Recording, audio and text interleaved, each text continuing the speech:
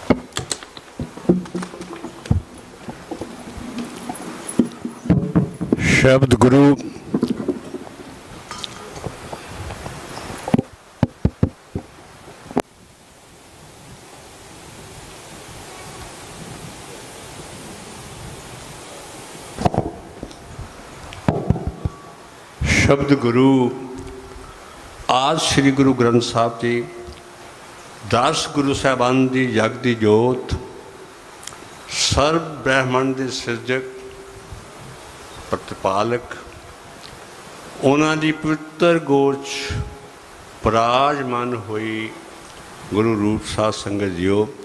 ਵਾਹਿਗੁਰੂ ਜੀ ਕਾ ਖਾਲਸਾ, ਵਾਹਿਗੁਰੂ ਜੀ ਕੀ ਫਤਿਹ। ਕਲੂਕਾਰਾ ਤੀਸਰਾ ਜੂਨ 1984 ਜੂਨ ਦਾ ਪਹਿਲਾ ਹਫਤਾ ਸ਼ਹੀਦੀਆਂ ਦਾ ਹਫਤਾ ਕੁਰਬਾਨੀਆਂ ਦਾ ਹਫਤਾ ਕੌਮ ਦੀ ਚੜ੍ਹਦੀ ਕਲਾ ਦਾ ਪ੍ਰਤੀਕ ਜਬਰ ਜੁਝਾਰੂ ਬੜੇ ਨਾ ਪਾਕ ਹਿਰਦੇ ਰੱਖਣ ਵਾਲੇ ਐਸੇ ਐਸੇ ਐਸੇ ਵਕਤ ਦੇ ਉਹਨਾਂ ਲੋਕਾਂ ਨੂੰ ਸੋਧਣਾ ਪਿਆ ਵਾਹਿਗੁਰੂ ਜੀ ਜਾਣਦਾ ਤੀਸਰਾ ਦਿਨ ਮਨਾ ਰਹੇ ਹਾਂ ਅਤਿਅੰਤ ਮਨ ਨੂੰ ਅਵਸਥਾ ਅਜਿਹੀ ਆ ਹਰ ਇੱਕ ਦੀ। ਸੰਤ ਗਿਆਨੀ ਹਰਨਾਮ ਸਿੰਘ ਜੀ, ਜੋ ਦਮਦਮੀ ਟਕਸਾਲ ਦੇ ਵਰਤਮਾਨ ਮੁਖੀ ਤੇ ਸੰਤ ਸਮਾਜ ਦੇ ਪ੍ਰਧਾਨ ਨੇ, ਤਿੰਨਾਂ ਨੇ ਸਾਡੀ ਅਗਵਾਈ ਕਰਕੇ ਸਾਡੀ ਅਰਜ਼ੋਈ ਮੰਨ ਕੇ ਇਸ ਥਾਂ ਤੇ ਮਹਾਂਪੁਰਖ ਵੱਡੇ ਸੰਤ ਗਿਆਨੀ ਜਰਨੈਲ ਸਿੰਘ ਜੀ ਮਰਤੇ ਮੁਜਾਹਿਦ ਪੂਰਨ ਰੂਪ ਚ ਗੁਰਸਿੱਖੀ ਦੇ ਜੋ ਪ੍ਰਤੀਕ ਸਨ, ਇੱਥੇ ਰਹੇ, ਇੱਥੇ ਹੰਡੇ ਵੱਤੇ 7 8 9 ਸਾਲ। ਤਿੰਨਾਂ ਦੀ ਕਾਲ ਕਮਾਈ ਦੀ ਯਾਦ ਵਿੱਚ ਮਹਾਂਪੁਰਖਾਂ ਨੇ ਯਤਨ ਕੀਤਾ ਐਫਰਟਸ ਕੀਤਾ ਤੇ ਅਸੀਂ 36ਵਾਂ ਕਲੋਕਾਰਾ ਮਨਾ ਰਹੇ ਮਹਾਂਪੁਰਖਾਂ ਨੇ ਇਸ ਵਿਚਾਰ ਕਰਕੇ, ਸਮੇਂ ਦੇ ਹਾਲਾਤਾਂ ਨੂੰ ਮੁੱਖ ਰੱਖ ਕੇ ਸੰਕੋਚੇ ਸਮੇਂ 'ਚ ਸੰਕੋਚੇ ਰੂਪ 'ਚ, ਸੰਖਿਪਤ ਰੂਪ ਵਿੱਚ ਇਹ ਦਿਨ ਮਨਾਉਣ ਦੇ ਜੋ ਉਲੀਕਿਆ ਪ੍ਰੋਗਰਾਮ।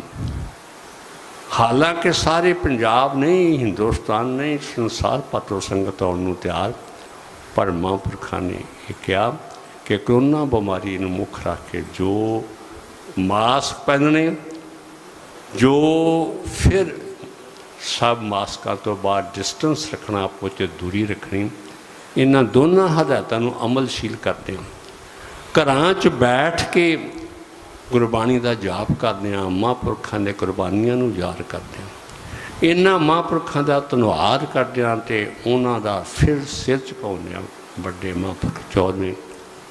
ਆਓ ਅਸੀਂ ਫਿਰ ਮਿਲ ਬੈਠੇ ਹਾਂ।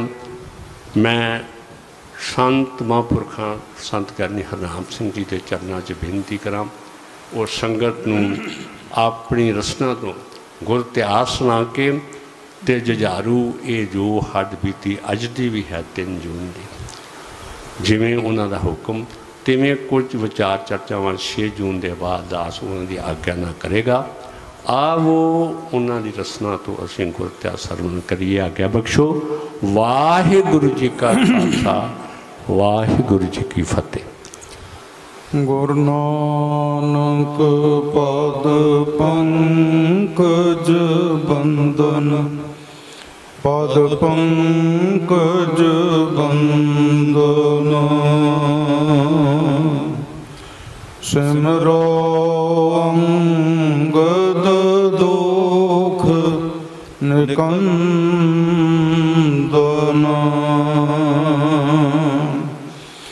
ਅਮਰਦਾਸ ਗੁਰ ਹਿਰਦੈ ਧਿਆਵੋ ਗੁਰ ਹਿਰਦੈ ਧਿਆਵੋ।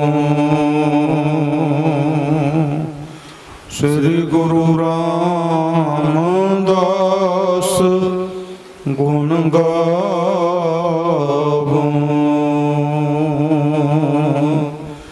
ਸ੍ਰੀ ਅਰਜਨ ਬੇਗਨਨ ਕੇ ਨਾਸਕ ਬਿਗਨਨ ਕੇ ਨਾਸਕ।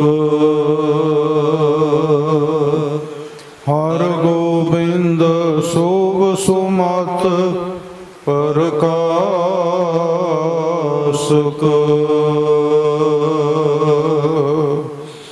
ਸ੍ਰੀ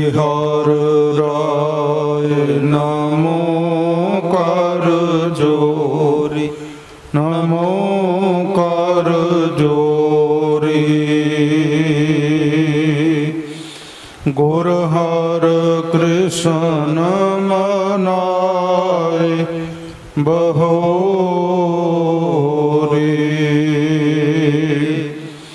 ਤੇਗ ਬਹਾਦਰ ਪਰਮ ਕਿਰਪਾਲ ਪਰਮ ਕਿਰਪਾਲ।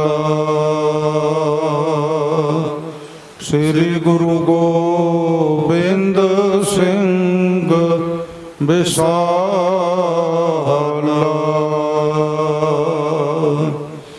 ਤਰੁ ਤਰਾ ਪਰ ਪੁਨ ਪੁਨ ਸੀਸਾ ਪੁਨ ਪੁਨ ਸੀਸਾ। ਬੰਦੋਂ ਬਾਰ ਬਾਰ ਜਗਦੀਸਾ।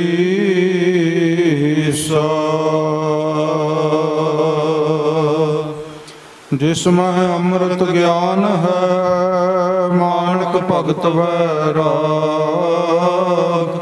ਸ੍ਰੀ ਗੁਰੂ ਗ੍ਰੰਥ ਸਾਹਿਬ ਉਦਦ ਬੰਦੋਂ ਕਰ ਅਨੁਰਾਗ। ਸ੍ਰੀ ਗੁਰ ਸ਼ਬਦ ਕਮਾਏ ਜਿਨ, ਜੀਤੇ ਪੰਜ ਵਿਕਾਰ। ਤਿਨ ਸੰਤਨ ਕਾ ਵੰਦਨਾ ਸਿਰ ਚਰਨਨ ਪਰਤਾਰ ਏਕੰਕਾਰ ਸਤਿਗੁਰੂ, ਤੇਹ ਪ੍ਰਸਾਦ ਸਚ ਹੋਇ। ਵਾਹਿਗੁਰੂ ਜੀ ਕੀ ਫਤਿਹ, ਬਿਗਨ ਬਿਨਾਸਨ ਸੋਏ। ਸਤਨਾਮ ਸ੍ਰੀ ਵਾਹਿਗੁਰੂ ਸਾਹਿਬ ਜੀ। ਅਨਕ ਜਨਮ ਦੁਰਮਤ ਵਿਵਹਾਰਾ ਸੋ ਅਭਿਆਸ ਬਲੀ ਉਰ ਧਾਰਾ।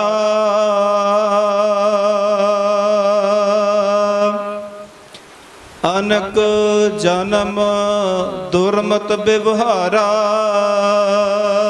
ਪਰਮ ਸਨਮਾਨ ਸਨਮਾਨਯੋਗ ਗੁਰੂ ਰੂਪ, ਗੁਰੂ ਖਾਲਸਾ, ਸਾਧ ਸੰਗਤ ਜੀ, ਵਾਹਿਗੁਰੂ ਜੀ ਕਾ ਖਾਲਸਾ। ਵਾਹਿਗੁਰੂ ਜੀ ਕੀ ਫਤਿਹ। ਆਪ ਸਰਬੱਤ ਸੰਗਤਾਂ ਬਹੁਤ ਬਹੁਤ ਵੱਡਿਆਂ ਭਾਗਾਂ ਵਾਲੇ ਹੋ।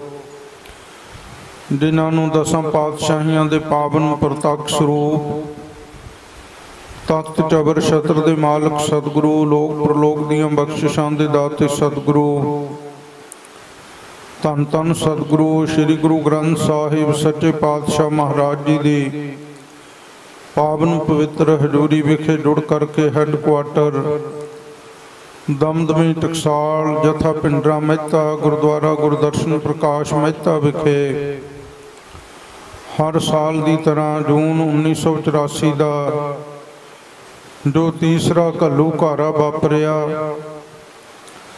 ਵਾਪਰੀ ਗੱਲ ਕੁਦਰਤੀ ਹੋਇਆ ਕਰਦੀ ਹੈ, ਜੋ ਅਚਨਚੇਤ ਤੁਹਾਡੇ ਨਾਲ ਬ੍ਰਹਿਮੰਡ ਵਿੱਚ, ਸੰਸਾਰ ਵਿੱਚ, ਕਿਸੇ ਰੂਪ ਵਿੱਚ ਵਾਪਰ ਜਾਂਦੀ ਹੈ। ਜੋ ਜਾਣ ਬੁੱਝ ਕੇ ਤੁਹਾਡੇ ਨਾਲ ਕਿਸੇ ਤਰ੍ਹਾਂ ਦਾ ਵਿਵਹਾਰ ਕੀਤਾ ਜਾਂਦਾ ਹੈ, ਭਾਵ ਮਾੜਾ ਜਾਂ ਚੰਗਾ ਉਸ ਪਿੱਛੇ ਤੁਹਾਡੀ ਮਨਸ਼ਾ ਦਾ ਪੱਖ ਹੋਇਆ ਕਰਦਾ ਕਿ ਤੁਹਾਡੀ ਮਨਸ਼ਾ, ਤੁਹਾਡੀ ਸੋਚ। ਤੁਸੀਂ ਕੀ ਬਣਤ ਬਣਾਈ ਹੋਈ ਹੈ? ਔਰ ਉਸ ਵਿਚਾਰ ਨੂੰ ਸੋਚੀ ਸਮਝੀ ਸੋਚ ਕਿਹਾ ਜਾਂਦਾ ਹੈ।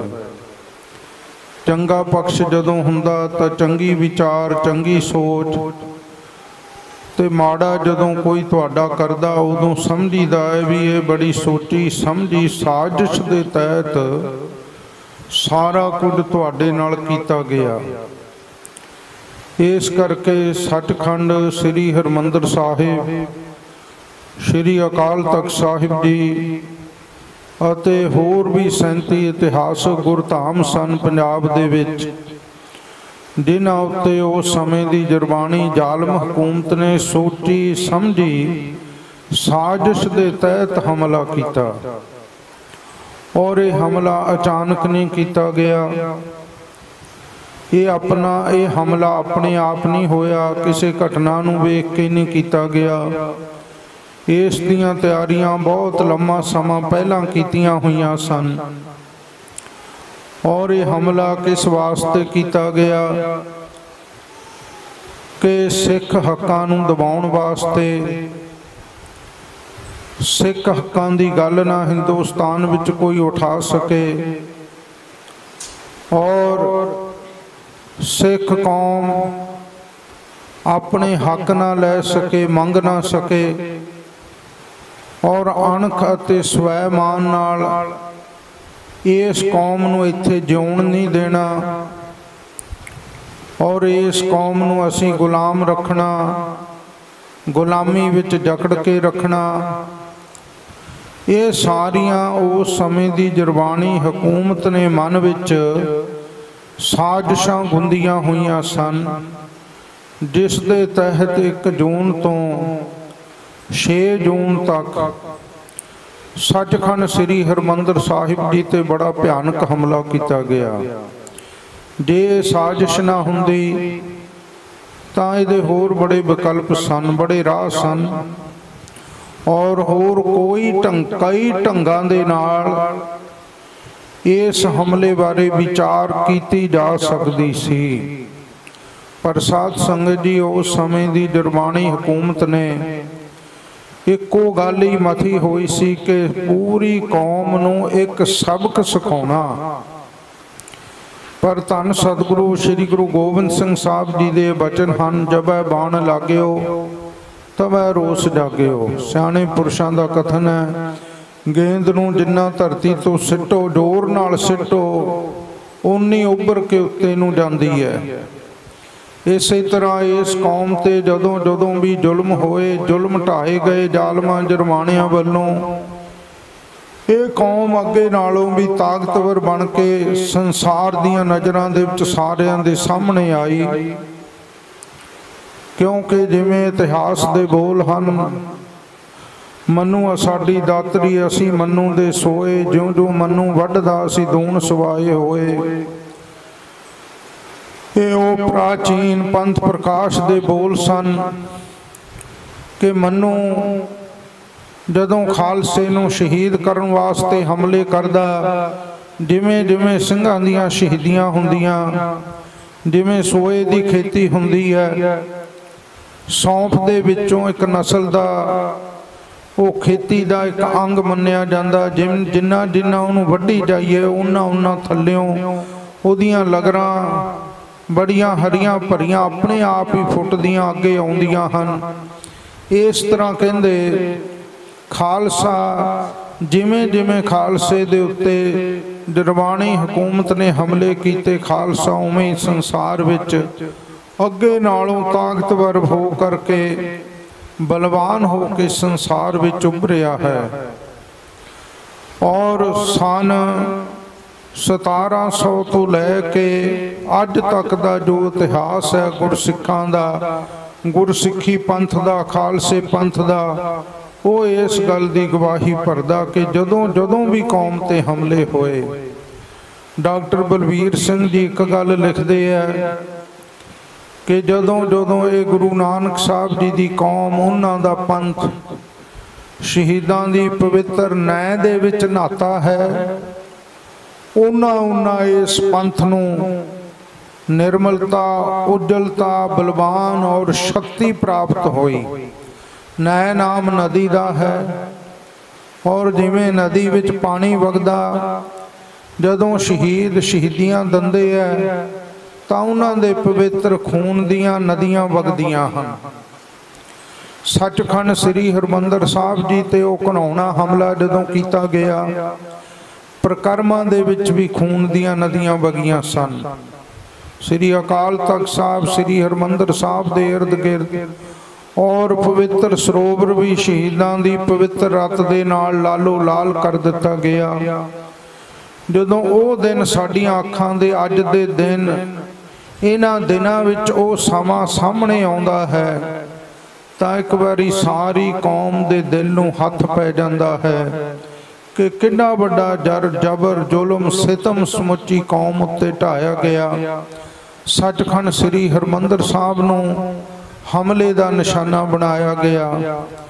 ਜਿਹੜੇ ਸੱਚਖੰਡ ਸ੍ਰੀ ਹਰਮੰਦਰ ਸਾਹਿਬ ਤੋਂ ਸਮੁੱਚੀ ਮਨੁੱਖਤਾ ਨੂੰ ਜਿੱਥੋਂ ਆਸਰਾ ਮਿਲਦਾ, ਸਮੁੱਚੀ ਮਨੁੱਖਤਾ ਨੂੰ ਜਿੱਥੋਂ ਸਰਬ ਸਾਂਝੀ ਵਾਲ ਦਾ ਉਪਦੇਸ਼ ਮਿਲਦਾ ਹੈ, ਹਰ ਧਰਮ ਨੂੰ ਜਿੱਥੋਂ ਏਕਤਾ ਦਾ ਉਪਦੇਸ਼ ਪ੍ਰਾਪਤ ਹੁੰਦਾ ਹੈ। ਉਹ ਸੱਚਖੰਡ ਸ੍ਰੀ ਹਰਮੰਦਰ ਸਾਹਿਬ ਤੇ ਹਮਲਾ ਕਰਨਾ ਔਰ ਧੰਨ ਸ੍ਰੀ ਗੁਰੂ ਗ੍ਰੰਥ ਸਾਹਿਬ ਜੀ ਦੇ ਸਰੂਪ ਨੂੰ ਗੋਲੀਆਂ ਦਾ ਨਿਸ਼ਾਨਾ ਬਣਾਉਣਾ, ਜਿਹੜੀ ਗੁਰਬਾਣੀ ਇਹ ਗੱਲ ਕਹਿੰਦੀ ਹੈ, ਖੱਤਰੀ ਬ੍ਰਾਹਮਣ ਸੂਦ ਵੈਸ, ਉਪਦੇਸ਼ ਚੌਂ ਵਰਨਾ ਕੋ ਸਾਂਝਾ, ਉਸ ਗੁਰਬਾਣੀ ਦੇ ਸੋਮੇ, ਉਸ ਗੁਰਬਾਣੀ ਦੇ ਸਮੁੰਦਰ ਧੰਨ ਸ੍ਰੀ ਗੁਰੂ ਗ੍ਰੰਥ ਸਾਹਿਬ ਜੀ ਨੂੰ ਵੀ ਨਹੀਂ ਬਖਸ਼ਿਆ ਗਿਆ। ਔਰ ਜੇ ਸ੍ਰੀ ਅਕਾਲ ਤਖਤ ਸਾਹਿਬ ਜੀ ਤੋਂ ਧੰਨ ਗੁਰੂ ਹਰਗੋਬਿੰਦ ਸਾਹਿਬ ਜੀ ਦੇ ਸਮੇਂ ਤੋਂ ਲੈ ਕੇ ਮੁਗਲਿਆ ਸਲਤਨਤ ਔਰ ਇਸੇ ਤਰ੍ਹਾਂ ਇੰਗਲੈਂਡ ਦੀ ਸਲਤਨਤ, ਜਿੰਨੇ ਵੀ ਜਰਮਾਨੇ, ਪਠਾਨ, ਜਾਬਰ, ਜੋ ਜੋ ਵੀ ਜ਼ਾਲਮੇ ਇਸ ਧਰਤੀ ਤੇ ਆਏ, ਉਹਨਾਂ ਸਾਰਿਆਂ ਦੇ ਖਿਲਾਫ ਬਹੁਤ ਵੱਡੇ ਸੰਘਰਸ਼ ਹੋਏ, ਜੰਗਾਂ ਲੜੀਆਂ ਔਰ ਉਸ ਮੀਰੀ ਪੀਰੀ ਦੇ ਮਾਲਕ ਧੰਨ ਗੁਰੂ ਹਰਗੋਬਿੰਦ ਸਾਹਿਬ ਜੀ ਦੇ ਤਖਤ ਨੂੰ, ਜਿਨ੍ਹਾਂ ਦੀ ਖਾਤਰ ਗੁਲਾਮੀ ਦੀਆਂ ਜੰਜੀਰਾਂ ਕੱਟੀਆਂ ਸਨ, ਉਹਨਾਂ ਲੋਕਾਂ ਨੇ ਉਸ ਤਖਤ ਦੇ ਵਾਰਸ ਬਣ ਕੇ ਉਹ ਸ੍ਰੀ ਅਕਾਲ ਤਖਤ ਸਾਹਿਬ ਜੀ ਨੂੰ ਵਿਜਾਨੇ ਵਿੱਚ ਕੀ ਦਿੱਤਾ ਕਿ ਸ੍ਰੀ ਅਕਾਲ ਤਖਤ ਸਾਹਿਬ ਜੀ ਦੇ ਉੱਤੇ ਤੋਪਾਂ ਤੇ ਟੈਂਕਾਂ ਦੇ ਹਮਲੇ ਕੀਤੇ। ਕਿਸੇ ਪ੍ਰਾਣੀ ਮਾਤਰ ਉੱਤੇ ਕੋਈ ਬੰਦਾ ਪਰਉਪਕਾਰ ਕਰਦਾ, ਸਾਰੀ ਜ਼ਿੰਦਗੀ ਉਹ ਉਸ ਦੇ ਸਨਮਾਨ ਵਿੱਚ ਹਮੇਸ਼ਾ ਸਿਰ ਝੁਕਾ ਕੇ ਚੱਲਦਾ ਕਿ ਇਸ ਬੰਦੇ ਨੇ ਮੇਰੇ ਤੇ ਕਿਸੇ ਸਮੇਂ ਬੜਾ ਪਰਉਪਕਾਰ ਕੀਤਾ ਸੀ, ਮੇਰੀ ਮਦਦ ਕੀਤੀ ਸੀ, ਮੇਰਾ ਭਲਾ ਕੀਤਾ, ਮੇਰੀ ਸਹਾਇਤਾ ਕੀਤੀ ਔਰ ਉਹਦੇ ਪਰਉਪਕਾਰ ਨੂੰ ਸਦਾ ਆਪਣੇ ਮਨ ਵਿੱਚ ਵਸਾ ਕੇ ਰੱਖਦਾ ਔਰ ਜੇ ਉਹਦਾ ਵਸ ਚੱਲਦਾ ਤਾਂ ਅਗਲੇ ਦੇ ਰਸਤੇ ਵਿੱਚ ਉਹ ਫੁੱਲ ਵਿਛਾਉਂਦਾ ਤੁਰਨ ਵਾਸਤੇ। ਪਰ ਸਾਧ ਸੰਗਤ ਜੀ, ਜਿਸ ਗੁਰੂ ਹਰਗੋਬਿੰਦ ਸਾਹਿਬ ਜੀ ਦੇ ਤਖਤ ਨੇ ਪਰਉਪਕਾਰ ਕੀਤੇ, ਉਸ ਗੁਰੂ ਹਰਗੋਬਿੰਦ ਸਾਹਿਬ ਜੀ ਦੇ ਤਖਤ ਉੱਤੇ ਫੁੱਲਾਂ ਦੀ ਵਰਖਾ ਤਾਂ ਕੀ ਕਰਨੀ ਸੀ? ਗੋਲੀਆਂ ਦੀ ਵਾਛੜ ਕੀਤੀ ਗਈ, ਤੋਪਾਂ ਟੈਂਕਾਂ ਦੇ ਗੋਲੇ ਮਾਰੇ ਗਏ। ਔਰ ਧੰਨ ਗੁਰੂ ਅਰਜਨ ਦੇਵ ਸਾਹਿਬ ਜੀ ਦਾ ਸ਼ਹੀਦੀ ਗੁਰਪੁਰਬ ਮਨਾਉਣ ਆਈਆਂ ਹੋਈਆਂ ਸੰਗਤਾਂ ਨੂੰ, ਛੋਟੇ ਛੋਟੇ ਪਟੰਗੀਆਂ ਨੂੰ, ਜਿਹੜੇ ਦੁੱਧ ਚੁੰਗਦੇ ਬਾਲ ਸਨ, ਬੱਚੇ ਸਨ ਮਾਵਾਂ ਦੇ, ਉਹਨਾਂ ਬੱਚਿਆਂ ਨੂੰ, ਉਹਨਾਂ ਦੀਆਂ ਮਾਵਾਂ ਨੂੰ, ਬਜ਼ੁਰਗਾਂ ਨੂੰ, ਨੌਜਵਾਨਾਂ ਨੂੰ, ਬੀਬੀਆਂ ਨੂੰ ਗੋਲੀਆਂ ਦੇ ਨਿਸ਼ਾਨੇ ਬਣਾ ਬਣਾ ਕੇ ਸ਼ਹੀਦ ਕਰ ਦਿੱਤਾ ਗਿਆ।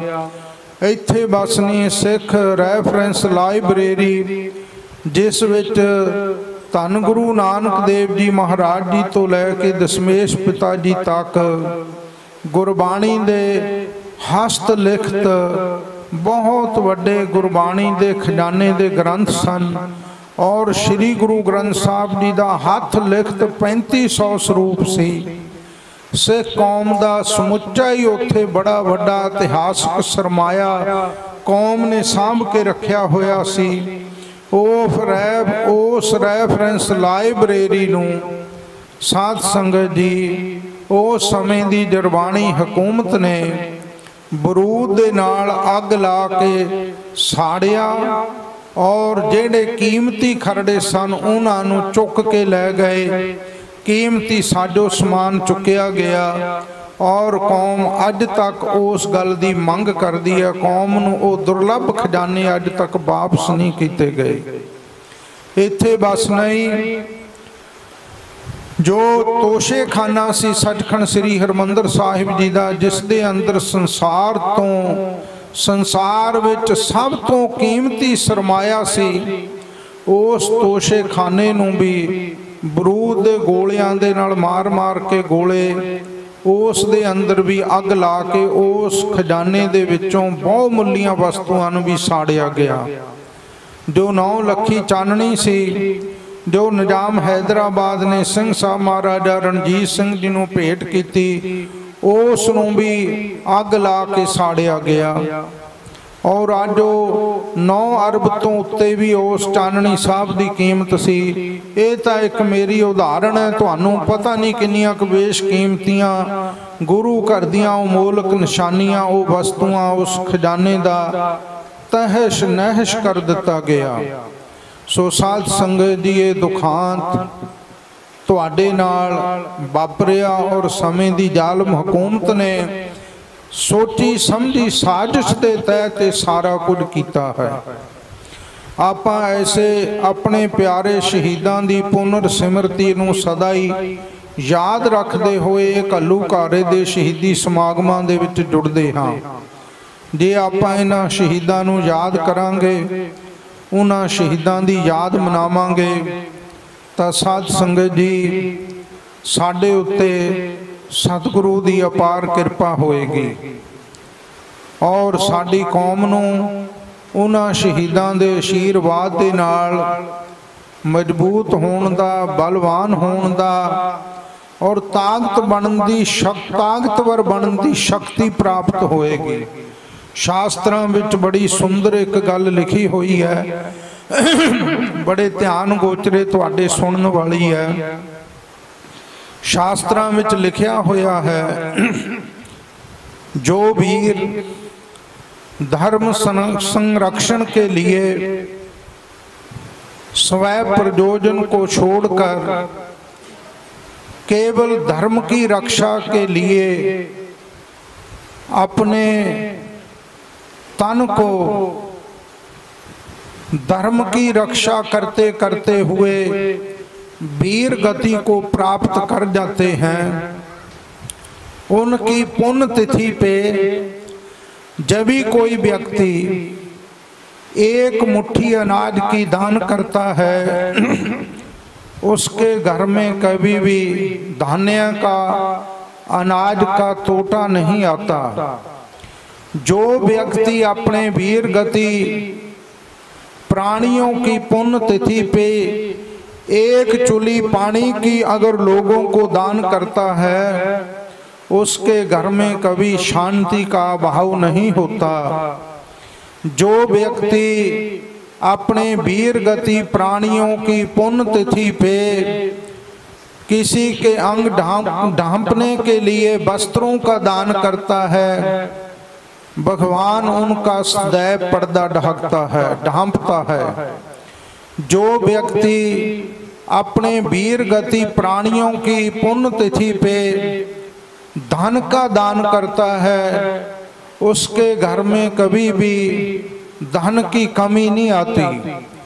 और जो प्राणी अपने वीर गति प्राप्त करने वाले प्राणियों के निमित्त उनकी पुण्य तिथि पे उनकी याद में प्रभु का स्मरण करता है सत्संगत करता है। उसको देवलोक की प्राप्ति होती है ਇਹ ਹਨ ਉਹਨਾਂ ਗ੍ਰੰਥਾਂ ਦੇ ਬਚਨ ਹੁਣ ਮੈਂ ਇਹਦਾ ਅਰਥਾਤ ਜਿਹੜਾ ਹੈ ਅਰਥਾਤ ਤੋਂ ਭਾਵ ਗੁਰਮੁਖੀ ਦੇ ਵਿੱਚ ਇਹਦਾ ਮਤਲਬ ਕੀ ਹੈ ਉਹ ਵੀਰ ਗਤੀ ਕਿਸ ਨੂੰ ਕਹਿੰਦੇ ਐ ਸਾਧ ਸੰਗਤ ਜੀ ਹਿੰਦੁਸਤਾਨ ਦੀ ਜਿਹੜੀ ਭਾਰਤੀ ਸੰਸਕ੍ਰਿਤੀ ਹੈ ਇਸ ਵਿੱਚ ਸ਼ਹੀਦ ਸ਼ਬਦ ਦਾ ਕਿਤੇ ਵੀ ਇਸਤੇਮਾਲ ਨਹੀਂ ਸਾਨੂੰ ਮਿਲਦਾ ਸ਼ਹੀਦ ਸ਼ਬਦ ਦੀ ਜਿਹੜੀ ਉਤਪਤੀ ਹੈ ਨਾ, ਇਹ ਸਾਨੂੰ ਅਰਬੀ ਫਾਰਸੀ ਦੇ ਸ਼ਬਦਾਂ ਦੇ ਵਿੱਚੋਂ ਮਿਲਦੀ ਹੈ। ਹਾਂ, ਗੁਰਬਾਣੀ ਵਿੱਚ ਸ਼ਹੀਦ ਸ਼ਬਦ ਜ਼ਰੂਰ ਆਇਆ। ਜਿਹੜੀ ਭਾਰਤੀ ਸੰਸਕ੍ਰਿਤੀ ਦੇ ਜਿੰਨੇ ਵੀ ਧਾਰਮਿਕ ਗ੍ਰੰਥ ਹੈ, ਉਹਨਾਂ ਵਿੱਚ ਸ਼ਹੀਦਾਂ ਨੂੰ ਵੀਰ ਗਤੀ ਪ੍ਰਾਪਤੀ ਕਰਨ ਵਾਲੇ ਸੂਰਮੇ ਕਿਹਾ ਜਾਂਦਾ ਹੈ। ਭਾਵ ਜਿਹੜਾ ਬਹਾਦਰਾਂ ਵਾਲੀ, ਸੂਰਮਿਆਂ ਵਾਲੀ, ਯੋਧਿਆਂ ਵਾਲੀ ਧਰਮ ਦੀ ਖਾਤਰ ਆਪਣੀ ਜ਼ਿੰਦਗੀ ਵਾਰ ਗਿਆ ਉਸ ਨੂੰ ਉਹ ਲੋਕ ਕਹਿੰਦੇ ਆ ਕਿ ਵੀਰ ਗਤੀ ਪ੍ਰਾਪਤ ਕਰ ਗਿਆ। ਉਹ ਸ਼ਹੀਦਾਂ ਨੂੰ ਵੀਰ ਗਤੀ ਦਾ ਨਾਮ ਦੇ ਕੇ ਯਾਦ ਕਰਦੇ ਆ, ਉਹਨਾਂ ਦੀ ਸਿਮਰਤੀ ਵਿੱਚ, ਉਹਨਾਂ ਦੀ ਗੱਲ ਕਰਦੇ ਆ, ਉਹਨਾਂ ਦਾ ਵਿਖਿਆਨ ਕਰਦੇ ਆ। ਔਰ ਅਰਬੀ ਫਾਰਸੀ ਦੇ ਵਿੱਚ ਉਸੇ ਵੀਰ ਗਤੀ ਦਾ ਅਰਥ ਸ਼ਹੀਦ ਆਉਂਦਾ ਹੈ। ਇਹਨਾਂ ਕ ਦੋਨੋਂ ਅਰਥਾਂ ਦਾ ਇਹਨਾਂ ਦਾ ਫ਼ਰਕ ਹੈ। ਮਤਲਬ ਇੱਕੋ ਹੀ ਹੈ। ਪੁੰਨ ਤਿਥੀ ਕਿਹਨੂੰ ਕਿਹਾ ਜਾਂਦਾ? ਪਵਿੱਤਰ ਤਿਥੀ, ਪਵਿੱਤਰ ਸਮਾਂ ਕਿਸ ਨੂੰ ਕਿਹਾ ਜਾਂਦਾ? ਆ ਜਿਹੜਾ ਤੁਸੀਂ 1 ਜੂਨ ਤੋਂ ਲੈ ਕੇ 6 ਜੂਨ ਤੱਕ ਬੈਠੇ ਹੋ ਨਾ, ਇਹ ਜਿਹੜੇ ਸ਼ਹੀਦੀ ਦਿਹਾੜੇ ਮਨਾ ਰਹੇ, ਇਹ ਪੁੰਨ ਤਿਥੀ ਹੈ। ਉਹ ਕਹਿੰਦੇ, ਪੁੰਨ ਤਿਥੀ, ਜਿਸ ਦਿਨ ਬੰਦੇ ਦੇ ਪਾਪਾਂ ਦਾ ਨਾਸ ਹੋਵੇ ਔਰ ਪ੍ਰਾਣੀ ਨੂੰ ਪੁੰਨ ਪ੍ਰਾਪਤ ਹੋਣ, ਉਸ ਦਿਨ ਨੂੰ ਪੁੰਨ ਤਿਥੀ, ਪੁੰਨ ਦਾ ਸਮਾਂ ਕਿਹਾ ਜਾਂਦਾ ਹੈ, ਪਵਿੱਤਰ ਸਮਾਂ। ਜਿਹਦੇ ਨਾਲ ਤੁਹਾਡੇ ਸ਼ੁਭ ਕਰਮ ਵੱਧਦੇ ਆ ਔਰ ਪਾਪ ਕਰਮਾਂ ਦਾ ਤੁਹਾਡਿਆਂ ਦਾ ਨਾਸ ਹੁੰਦਾ, ਉਸ ਨੂੰ ਕਿਹਾ ਜਾਂਦਾ ਪੁੰਨ ਤਿਥੀ। ਭਾਵ ਉਹਨਾਂ ਦੇ ਸ਼ਹੀਦੀ ਦਿਹਾੜਿਆਂ ਦੇ ਉੱਤੇ ਜੇ ਇੱਕ ਮੁਠੀ ਵੀ ਕੋਈ ਆਪਣੀ ਅਨਾਜ ਦੀ ਦੰਦਾ ਕਿਸੇ ਨੂੰ, ਉਹਦੇ ਘਰ ਦੇ ਵਿੱਚ ਉਹ ਕਹਿੰਦੇ ਕਦੇ ਵੀ ਅੰਨ ਦਾ ਘਾਟਾ ਨਹੀਂ ਆਏਗਾ। ਕਦੇ ਵਾਸਤੇ ਵੀ ਉਹਨਾਂ ਦੇ ਘਰ ਵਿੱਚ ਅੰਨ ਦੀ ਥੁੜ ਨਹੀਂ ਆਏਗੀ। ਸ਼ਹੀਦਾਂ ਦੇ ਪ੍ਰਤੀ ਦਾਨ ਕਰਨ ਦਾ ਇੰਨਾ ਵੱਡਾ ਫਲ ਹੈ। ਉਹਨਾਂ ਦੇ ਘਰ ਦੇ ਵਿੱਚ ਤਿਚਰ ਮੂਲ ਨਾ ਥੁੜੀ ਦੋ ਜਿਚਰ ਆਪ ਕਿਰਪਾਲ। ਸਭ ਦੋ ਖੁੱਟ ਬਾਬਾ ਨਾਨਕਾ ਖਾਹੇ ਖਰਚ ਧਨ ਮਾਲ ਕਹਿੰਦੇ, ਸ਼ਹੀਦਾਂ ਦੀ ਬਰਕਤ, ਸ਼ਹੀਦਾਂ ਦੀ ਅਸੀਸ ਨਾਲ। ਉਹਨਾਂ ਦੇ ਘਰ ਦੇ ਵਿੱਚ ਅੰਨ ਦੇ ਭੰਡਾਰੇ ਭਰੇ ਰਹਿੰਦੇ ਕਦੇ ਅੰਨ ਨਹੀਂ ਉਹਨਾਂ ਦੇ ਘਰ ਵਿੱਚੋਂ ਮੁੱਕਦਾ।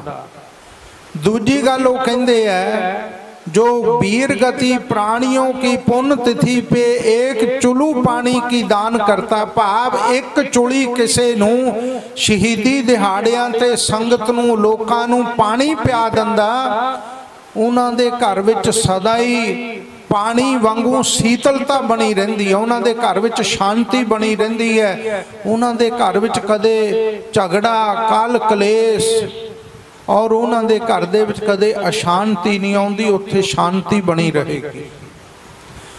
ਔਰ ਕਹਿੰਦੇ ਜੋ ਆਪਣੇ ਸ਼ਹੀਦਾਂ ਦੇ ਨਿਮਿਤ ਕਿਸੇ ਨੂੰ ਪੁੰਨ ਤਿਥੀ ਦੇ ਉੱਤੇ ਵਸਤਰ ਦੇਣ ਦਾ ਦਾਨ ਕਰਦਾ, ਕਹਿੰਦੇ ਭਗਵਾਨ ਪ੍ਰਮਾਤਮਾ ਵਾਹਿਗੁਰੂ ਉਹਨਾਂ ਦਾ ਸਦਾ ਹੀ ਪਰਦਾ ਢੱਕਦਾ।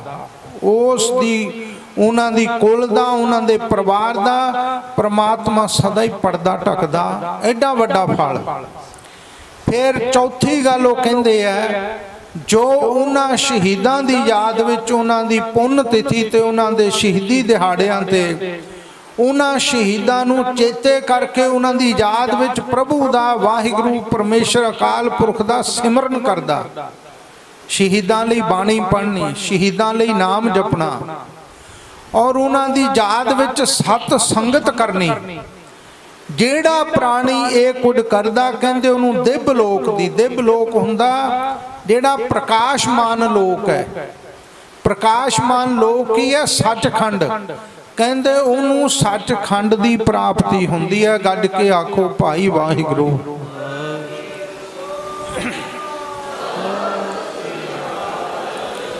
ਇਹ ਤੁਹਾਨੂੰ ਹੁਣ ਚੰਗੀ ਤਰ੍ਹਾਂ ਸਮਝ ਆ ਗਿਆ ਹੋਵੇਗਾ। ਕਿ ਸ਼ਹੀਦਾਂ ਦੀ ਯਾਦ ਵਿੱਚ ਜੁੜਨ ਦਾ, ਸ਼ਹੀਦਾਂ ਦੀ ਯਾਦ ਵਿੱਚ ਭਜਨ ਸਿਮਰਨ ਕਰਨ ਦਾ, ਬਾਣੀ ਪੜਨ ਦਾ, ਸ਼ਹੀਦਾਂ ਦੀ ਯਾਦ ਵਿੱਚ ਸਤ ਸੰਗਤ ਕਰਨ ਦਾ, ਸ਼ਹੀਦਾਂ ਦੀ ਯਾਦ ਵਿੱਚ ਸੇਵਾ ਕਰਨ ਦਾ ਕਿੰਨਾ ਵੱਡਾ ਫਲ ਹੈ, ਕਿੰਨਾ ਵੱਡਾ ਫਲ ਹੈ। ਇਸੇ ਕਰਕੇ ਧੰਨ ਗੁਰੂ ਅਰਜਨ ਦੇਵ ਸਾਹਿਬ ਜੀ ਦੇ ਸ਼ਹੀਦੀ ਦਿਹਾੜੇ ਤੇ ਸੰਗਤਾਂ ਠੰਡੇ ਮਿੱਠੇ ਜਲ ਦੀਆਂ ਛਬੀਲਾਂ ਕਿਉਂ ਲਾਉਂਦੀਆਂ? ਸ਼ਹੀਦੀ ਦਿਹਾੜਿਆਂ ਤੇ ਗਰਮੀ ਦੀ ਰੁੱਤ ਵਿੱਚ ਕਿਉਂ ਠੰਡੇ ਮਿੱਠੇ ਜਲ ਦੀ ਸ਼ਬੀਲ ਲਾਈ ਜਾਂਦੀ ਹੈ? ਉਹ ਸ਼ਬੀਲ ਦੀ ਜਿਹੜੀ ਤੁਸੀਂ ਸੇਵਾ ਕਰਦੇ ਹੋ, ਜਦੋਂ ਪ੍ਰਾਣੀ ਮਾਤਰ ਉਹ ਜਲ ਛਕਦਾ, ਉਹ ਠੰਡਾ ਸੀਤਲ ਜਲ ਛਕਣ ਦੇ ਨਾਲ ਤੁਹਾਨੂੰ ਸ਼ਹੀਦਾਂ ਦੀਆਂ ਔਰ ਧੰਨ ਗੁਰੂ ਅਰਜਨ ਦੇਵ ਸਾਹਿਬ ਜੀ ਦੀਆਂ ਬਖਸ਼ਿਸ਼ਾਂ ਦੇ ਨਾਲ ਤੁਹਾਨੂੰ ਸੀਤਲਤਾ ਪ੍ਰਾਪਤ ਹੋਏਗੀ। ਤੁਹਾਡੇ ਅੰਦਰ ਵੀ ਠੰਡ ਵਰਤੇਗੀ, ਤੁਹਾਡੇ ਪਰਿਵਾਰ ਵਿੱਚ ਵੀ ਠੰਡ ਵਰਤੇਗੀ। ਕਿਣਕਾ ਕਿਣਕਾ ਸੇਵਾ ਕਰਨ ਦਾ ਭਾਵ ਇੰਨਾ ਵੱਡਾ ਪੁੰਨ ਹੈ ਸਾਧ ਸੰਗਤ ਜੀ। ਔਰ ਸ਼ਹੀਦਾਂ ਦੀ ਕਿੱਡੀ ਵੱਡੀ ਸ਼ਕਤੀ ਹੈ। ਸ਼ਹੀਦ ਕਿੰਨੇ ਸਮਰੱਥ ਹੈ। ਮੈਂ ਇੱਕ ਉਦਾਹਰਣ ਦੇ ਕੇ ਅੱਗੇ ਚੱਲਾਂ। ਜਦੋਂ ਜਿੱਥੇ ਦੇਵਤਿਆਂ ਦਾ ਵੀ ਵਸ ਨਹੀਂ ਚੱਲਦਾ, ਦੇਵਤਿਆਂ ਦਾ ਵੀ ਜ਼ੋਰ ਨਹੀਂ ਚੱਲਦਾ ਉੱਥੇ ਫਿਰ ਸ਼ਹੀਦ ਜਾ ਕੇ ਉਹਨਾਂ ਦੀ ਰੱਖਿਆ, ਉਹਨਾਂ ਦੀ ਸਹਾਇਤਾ ਕਰਦੇ।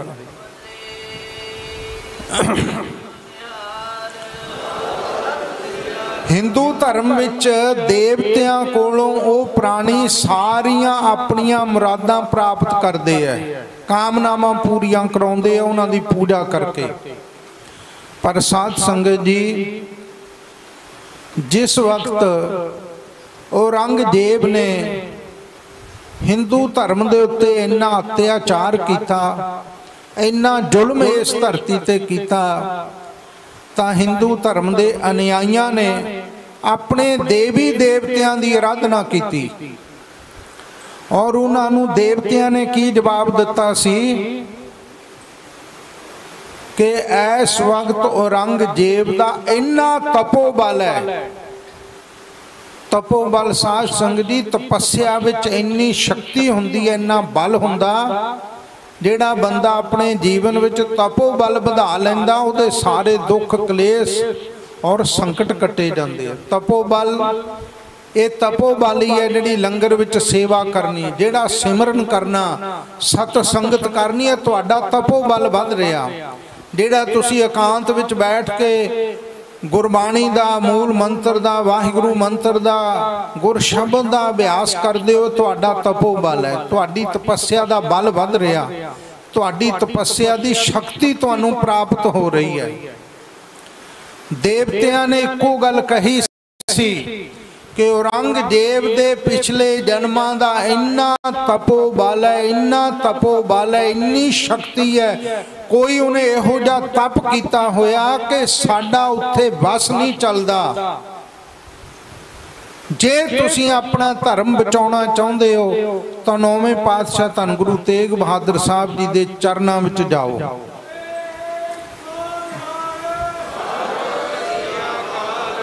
ਔਰ ਇੱਕ ਸਤਿਗੁਰੂ ਦੀ, ਧੰਨ ਗੁਰੂ ਤੇਗ ਬਹਾਦਰ ਸਾਹਿਬ ਜੀ ਦੀ ਮੈਂ ਸ਼ਹੀਦੀ ਦੀ ਗੱਲ ਕਰ ਰਿਹਾ।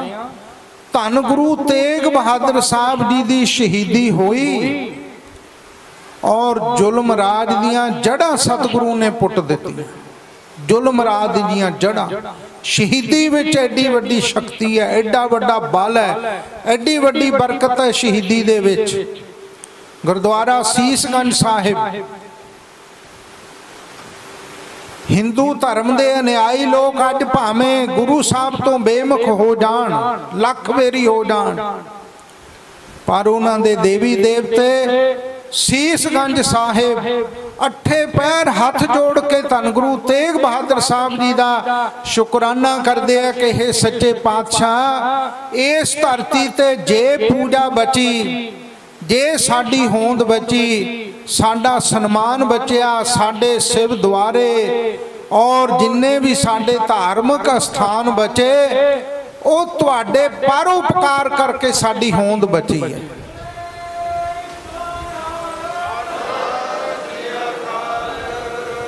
ਇੱਕ ਵੇਰੀ ਮੈਨੂੰ ਬਿਹਾਰ ਦੇ ਵਿੱਚ ਕਿਸੇ ਹਿੰਦੂ ਪ੍ਰਾਣੀ ਦੇ ਘਰ ਵਿੱਚ ਜਾਣ ਦਾ ਸਮਾਂ ਮਿਲਿਆ। ਉਹਨੇ ਆਪਣੇ ਘਰ ਵਿੱਚ ਆਪਣੇ ਦੇਵਤਿਆਂ ਦੀ ਮੂਰਤੀਆਂ ਦੇ ਨਾਲ ਉੱਚੀ ਥਾਂ ਤੇ ਧੰਨ ਗੁਰੂ ਗੋਬਿੰਦ ਸਿੰਘ ਜੀ ਦੀ ਤਸਵੀਰ ਰੱਖੀ ਹੋਈ ਸੀ। ਮੈਂ ਉਹਨੂੰ ਪੁੱਛਿਆ ਕਿ ਇਹ ਤਸਵੀਰ ਕਿਉਂ ਲਾਈ ਹੈ, ਕਿਉਂ ਰੱਖੀ ਹੈ? ਕਹਿਣ ਲੱਗਾ, ਜੀ, ਸਾਡੀ ਬਿਹਾਰ ਦੀ ਧਰਤੀ ਦੇ ਧੰਨ ਗੁਰੂ ਗੋਬਿੰਦ ਸਿੰਘ ਸਾਹਿਬ ਜੀ ਸਥਾਨ ਦੇਵਤਾ ਹਨ। ਜੇ ਇਹਨਾਂ ਦੀ ਪੂਜਾ ਅਸੀਂ ਕਦੇ ਨਹੀਂ ਕਰਾਂਗੇ ਤਾਂ ਸਾਨੂੰ ਸਾਡੇ ਦੇਵਤਿਆਂ ਦਾ ਆਸ਼ੀਰਵਾਦ ਨਹੀਂ ਮਿਲਦਾ। ਹਿੰਦੂ ਧਰਮ ਦੇ ਲੋਕ ਜੇ ਧੰਨ ਗੁਰੂ ਤੇਗ ਬਹਾਦਰ ਸਾਹਿਬ ਜੀ ਦੀ ਪੂਜਾ ਕਰਨ, ਧੰਨ ਗੁਰੂ ਗ੍ਰੰਥ, ਧੰਨ ਗੁਰੂ ਤੇਗ ਬਹਾਦਰ ਸਾਹਿਬ ਜੀ ਦੇ ਚਰਨਾਂ ਨਾਲ ਜੁੜ ਜਾਣ, ਤਾਂ ਸਾਰੇ ਹਿੰਦੁਸਤਾਨ ਦੇ ਵਿੱਚੋਂ ਜਿਹੜੀ ਗਰੀਬੀ ਹੈ ਨਾ, ਕੰਗਾਲੀ ਹੈ, ਉਹ ਸਦਾ ਲਈ ਮੁੱਕ ਸਕਦੀ ਹੈ। ਇਹ ਬਚਨ ਮੈਂ ਨਹੀਂ ਕਹਿ ਰਿਹਾ, ਧੰਨ ਗੁਰੂ ਗੋਬਿੰਦ ਸਿੰਘ ਸਾਹਿਬ ਜੀ ਦੇ ਬਚਨ ਹੈ। ਤੇਗ ਬਹਾਦਰ ਸਿਮਰਿਆ, ਘਰ ਨੌ ਨਿਧਾਵੈ ਧਾਏ ਸਭ ਥਾਈ ਹੋਏ ਸਹਾਏ। ਜਿਸ ਘਰ ਵਿੱਚ ਗੁਰੂ ਤੇਗ ਬਹਾਦਰ ਸਾਹਿਬ ਜੀ ਦੀ ਕਿਰਪਾ ਵਰਤ ਜਾਂਦੀ ਹੈ, ਉੱਥੇ ਨੌ ਨਿਧੀਆਂ 18 ਸਿੱਧੀਆਂ ਦੌੜ ਦੌੜ ਕੇ ਆ ਜਾਂਦੀਆਂ, ਆਪਣਾ ਡੇਰਾ ਲਾ ਲੈਂਦੀਆਂ। ਇਹ ਲੋਕ ਜੇ ਗੁਰੂ ਤੇਗ ਬਹਾਦਰ ਸਾਹਿਬ ਜੀ ਦੀ ਪੂਜਾ ਕਰਨ ਤਾਂ ਹੀ ਇਹਨਾਂ ਨੂੰ ਇਹਨਾਂ ਦੇ ਦੇਵੀ ਦੇਵਤਿਆਂ ਦਾ ਆਸ਼ੀਰਵਾਦ ਮਿਲੇਗਾ, ਵਰਨਾ ਕਦੇ ਨਹੀਂ ਮਿਲੇਗਾ। ਕਿਉਂਕਿ ਧੰਨ ਗੁਰੂ ਤੇਗ ਬਹਾਦਰ ਸਾਹਿਬ ਜੀ ਦੀ ਸ਼ਹੀਦੀ ਨੇ ਭਾਵ ਸ਼ਹੀਦੀ ਵਿੱਚ ਇੰਨੀ ਸ਼ਕਤੀ ਹੈ ਕਿ ਜਿੱਥੇ ਦੇਵਤਿਆਂ ਦੀ ਵੀ ਬਾਹਾਂ ਖੜੀਆਂ ਹੋ ਗਈਆਂ, ਜਿੱਥੇ ਦੇਵਤਿਆਂ ਦੀਆਂ ਸ਼ਕਤੀਆਂ ਵੀ ਬੇਵਸ ਹੋ ਗਈਆਂ, ਉੱਥੇ ਸ਼ਹੀਦੀ ਦੀ ਸ਼ਕਤੀ ਨੇ ਸਾਧ ਸੰਗਤ ਜੀ ਸਾਰਾ ਜ਼ੁਲਮ ਦਾ ਨਾਸ਼ ਕਰ ਦਿੱਤਾ, ਇਸ ਧਰਤੀ ਦੇ ਤੋਂ, ਪਾਪ ਦਾ ਨਾਸ਼ ਕਰ ਦਿੱਤਾ। ਇਸ ਕਰਕੇ ਸ਼ਹੀਦਾਂ ਦੀ ਬਰਕਤ ਬਹੁਤ ਵੱਡੀ ਆ, ਮਹਾਨ ਤੋਂ ਮਹਾਨ ਹੈ। ਜਿੱਥੇ ਆਸਰੀ ਅਤੇ ਦੇਵੀ ਸ਼ਕਤੀਆਂ ਦਾ ਕੰਮ ਕਰਨਾ ਰੁਕ ਜਾਂਦਾ, ਉੱਥੇ ਫਿਰ ਸ਼ਹੀਦ ਫੌਜਾਂ ਜਾ ਕੇ ਉਹਨਾਂ ਕਾਰਜਾਂ ਨੂੰ ਫਤਿਹ ਕਰਦੀਆਂ। ਬਹੁਤ ਹਿੰਦੂ ਵੀਰ ਧੰਨ ਬਾਬਾ ਦੀਪ ਸਿੰਘ ਜੀ ਨੂੰ ਮੰਨਦੇ ਆ, ਉਹ ਕਹਿੰਦੇ ਸਾਨੂੰ ਮਿਲਦਾ ਹੀ ਇੱਥੋਂ ਹੈ ਸਾਰਾ ਕੁਝ। ਇਸ ਕਰਕੇ ਸ਼ਹੀਦਾਂ ਦੀ ਬਹੁਤ ਵੱਡੀ ਬਰਕਤ ਹੈ, ਸ਼ਹੀਦਾਂ ਦੀ ਬਹੁਤ ਵੱਡੀ ਸ਼ਕਤੀ ਹੈ। ਆਪਾਂ ਆਪਣੇ ਸ਼ਹੀਦਾਂ ਨੂੰ ਕਦੇ ਭੁੱਲਣਾ ਨਹੀਂ, ਕਦੇ ਵਿਸਾਰਨਾ ਨਹੀਂ। ਜੇ ਅਸੀਂ ਭੁੱਲ ਗਏ ਉਹਨਾਂ ਦੀਆਂ ਯਾਦਾਂ ਨਾ ਮਨਾਈਆਂ, ਤਾਂ ਮਤ ਸੋਚੋ ਕਿ ਸੁੱਖ ਅਤੇ ਚੈਨ ਨਾਲ ਆਪਣੀ ਜ਼ਿੰਦਗੀ ਬਸਰ ਕਰ ਸਕਾਂਗੇ। ਅਸੀਂ ਆਪਣੀ ਹੋਂਦ ਆਪਣੇ ਆਪ ਹੀ ਗਵਾ ਬੈਠਾਂਗੇ। ਪਾਏ ਕੁਹਾੜਾ ਮਾਰਿਆ, ਗਾਫਲ ਆਪਣਾ ਹੱਥ। ਆਪਣੇ ਪੈਰਾਂ ਉੱਤੇ ਆਪ ਹੀ ਕੁਹਾੜਾ ਮਾਰਨਾ, ਭਾਵ ਆਪਣਾ ਨੁਕਸਾਨ ਆਪ ਹੀ ਕਰ ਲੈਣਾ। ਇਸ ਤੋਂ ਵੱਡੀ ਮੂਰਖਤਾ ਹੋਰ ਕੀ ਹੋ ਸਕਦੀ ਹੈ? ਸ਼ਹੀਦਾਂ ਦੀ ਯਾਦ ਸਾਨੂੰ ਮਨਾਉਣੀ, ਸ਼ਹੀਦਾਂ ਦੀ ਯਾਦ ਵਿੱਚ ਸੇਵਾ ਕਰਨੀ, ਇਹਦੇ ਨਾਲ ਸਾਡੇ ਉੱਤੇ ਮਹਾਨ ਰਹਿਮਤ ਔਰ ਬਖਸ਼ਿਸ਼ਾਂ ਪ੍ਰਾਪਤ ਸਤਿਗੁਰਾਂ ਦੀ ਕਿਰਪਾ ਨਾਲ ਹੋਣਗੀਆਂ। ਇਸ ਕਰਕੇ ਆਪਣੀ ਕੌਮ ਨੂੰ ਜੇ ਕਿਸੇ ਸ਼ਕਤੀ ਨੇ ਬਲਵਾਨ ਬਣਾਇਆ, ਉਹ ਸ਼ਹੀਦਾਂ ਦੀ ਕਿਰਪਾ ਨਾਲ ਹੀ ਅਸੀਂ ਸ਼ਕਤੀਸ਼ਾਲੀ ਹੋਏ ਹਾਂ ਅੱਜ ਤੱਕ। ਜੇ ਖਾਲਸੇ ਨੇ ਕੇਸਰੀ ਨਿਸ਼ਾਨ ਦੁਨੀਆ ਵਿੱਚ ਚਲਾਏ ਹੈ, ਤਾਂ ਸ਼ਹੀਦਾਂ ਦੀ ਕਿਰਪਾ ਦੇ ਨਾਲ। ਜੂਨ 84 ਦੇ ਸ਼ਹੀਦਾਂ ਦੀ ਇਹ ਮਹਾਨ ਕਿਰਪਾ ਹੋਈ ਕਿ ਸਮੁੱਚੀ ਦੁਨੀਆ ਵਿੱਚ ਸਿੱਖ ਕੌਮ ਦਾ, ਸਿੱਖ ਪੰਥ ਦਾ ਤਪੋ ਬਲ ਵਧਿਆ ਔਰ ਦੁਨੀਆ ਦੇ ਕੋਨੇ-ਕੋਨੇ ਵਿੱਚ ਸਿੱਖ ਵੱਡੀਆਂ ਵੱਡੀਆਂ ਪਦਵੀਆਂ ਦੇ, ਰਾਜਸੀ ਪਦਵੀਆਂ ਦੇ ਔਰ ਸਨਮਾਨਯੋਗ ਪਦਵੀਆਂ ਦੇ ਵਾਰਸ ਬਣੇ ਔਰ ਦੁਨੀਆ ਭਰ ਵਿੱਚ ਸਿੱਖ ਅੱਜ ਰਾਜਿਆਂ ਦੀ ਤਰ੍ਹਾਂ ਆਪਣਾ ਜੀਵਨ ਬਸਰ ਕਰ ਰਹੇ ਹੈ। ਉਹ ਸਾਰੀ ਸ਼ਹੀਦਾਂ ਦੀ ਕਿਰਪਾ। ਹੈ ਦਸਾਂ ਪਾਤਸ਼ਾਹੀਆਂ ਦੀ ਅਸੀਸ ਔਰ ਸ਼ਹੀਦਾਂ ਦੀ ਸਹਾਇਤਾ ਇਹ ਹਮੇਸ਼ਾ ਲਈ ਤੁਹਾਡੇ ਅੰਗ ਸੰਗ ਹੋ ਕੇ ਵਰਤਦੀ ਹੈ। ਇਸ ਕਰਕੇ ਭਾਈ, ਆਪਾਂ ਇਹਨਾਂ ਸ਼ਹੀਦਾਂ ਨੂੰ ਕਦੇ ਭੁੱਲਣਾ ਨਹੀਂ, ਕਦੇ ਵਿਸਾਰਨਾ ਨਹੀਂ। ਔਰ ਸ਼ਹੀਦਾਂ ਦੀ ਸਦਾ ਯਾਦ ਆਪਣੇ ਦਿਲ ਵਿੱਚ ਵਸਾ ਕੇ ਰੱਖਣੀ ਹੈ, ਸੇਵਾ ਕਰਨੀ ਹੈ, ਸਮਾਗਮ ਕਰਨੇ ਹੈ ਸਤਸੰਗਤ ਕਰਨੀ ਹੈ ਔਰ ਸਤਿਗੁਰੂ ਜੀ ਦੇ ਚਰਨਾਂ ਵਿੱਚ ਅਰਦਾਸ ਕਰਨੀ ਹੈ ਕਿ ਸੱਚੇ ਪਾਤਸ਼ਾਹ, ਸਾਨੂੰ ਕਿਰਪਾ ਕਰੋ, ਮਿਹਰ ਕਰੋ, ਬਖਸ਼ਿਸ਼ ਕਰੋ। ਤੁਹਾਡੇ ਪਾਏ ਹੋਏ ਪੂਰਨਿਆਂ ਤੇ ਅਸੀਂ ਚੱਲੀਏ। ਤੁਹਾਡੇ ਪਾਏ ਪੂਰਨਿਆਂ ਤੇ ਸ਼ਹੀਦ ਚੱਲੇ ਐ ਕਲਗੀਧਰ ਜੀ ਦਾ ਬਚਨ ਹੈ, ਜੇ ਸਿੱਖ ਨੇ ਮੇਰੀ ਖੁਸ਼ੀ ਪ੍ਰਾਪਤ ਕਰਨੀ ਹੈ ਤਾਂ ਸ਼ਹੀਦਾਂ ਦੀ ਸੇਵਾ ਕਰੇ। ਇਹ ਸਤਿਗੁਰੂ ਜੀ ਦੇ ਬਚਨ ਹਨ। ਇਸ ਕਰਕੇ ਕਲਗੀਆਂ ਵਾਲੇ ਦੀ ਖੁਸ਼ੀ ਪ੍ਰਾਪਤ ਕਰਨੀ ਹੈ। ਤਾਂ ਸ਼ਹੀਦਾਂ ਦੀ ਸੇਵਾ ਕਰੋ, ਸ਼ਹੀਦਾਂ ਦੀ ਯਾਦ ਹਰ ਘਰ ਵਿੱਚ ਮਨਾਉਣੀ ਚਾਹੀਦੀ ਹੈ ਸਾਨੂੰ। ਹਰ ਹਿਰਦੇ ਵਿੱਚ ਮਨਾਉਣੀ ਚਾਹੀਦੀ ਹੈ। ਮੈਂ ਤਾਂ ਇੱਕੋ ਬੇਨਤੀ ਕਰਦਾ, ਤੁਸੀਂ ਪੂਰਾ ਕੱਲੂ ਘਾਰੇ ਦਾ ਹਫਤਾ ਕੁਝ ਨਹੀਂ ਕਰ ਸਕਦੇ। ਤੁਸੀਂ 6 ਜੂਨ ਨੂੰ ਸਵੇਰੇ ਉੱਠ ਕੇ ਇਸ਼ਨਾਨ ਕਰਕੇ ਆਪਣੇ ਹਿਰਦੇ ਵਿੱਚ 5 ਮਿੰਟ ਜਾਂ ਪੰਜ ਵੇਰੀ ਵਾਹਿਗੁਰੂ ਸ਼ਬਦ ਦਾ ਜਾਪ ਕਰਕੇ ਸ਼ਹੀਦਾਂ ਨੂੰ ਸਮਰਪਿਤ ਕਰ ਦਿਓ, ਤਾਂ ਤੁਹਾਡੇ ਨੇੜੇ ਕਦੇ ਜਮ ਨਹੀਂ ਆਏਗਾ, ਤੁਹਾਡੇ ਨੇੜੇ ਕਦੇ ਕੋਈ ਦੁੱਖ ਨਹੀਂ ਆਏਗਾ।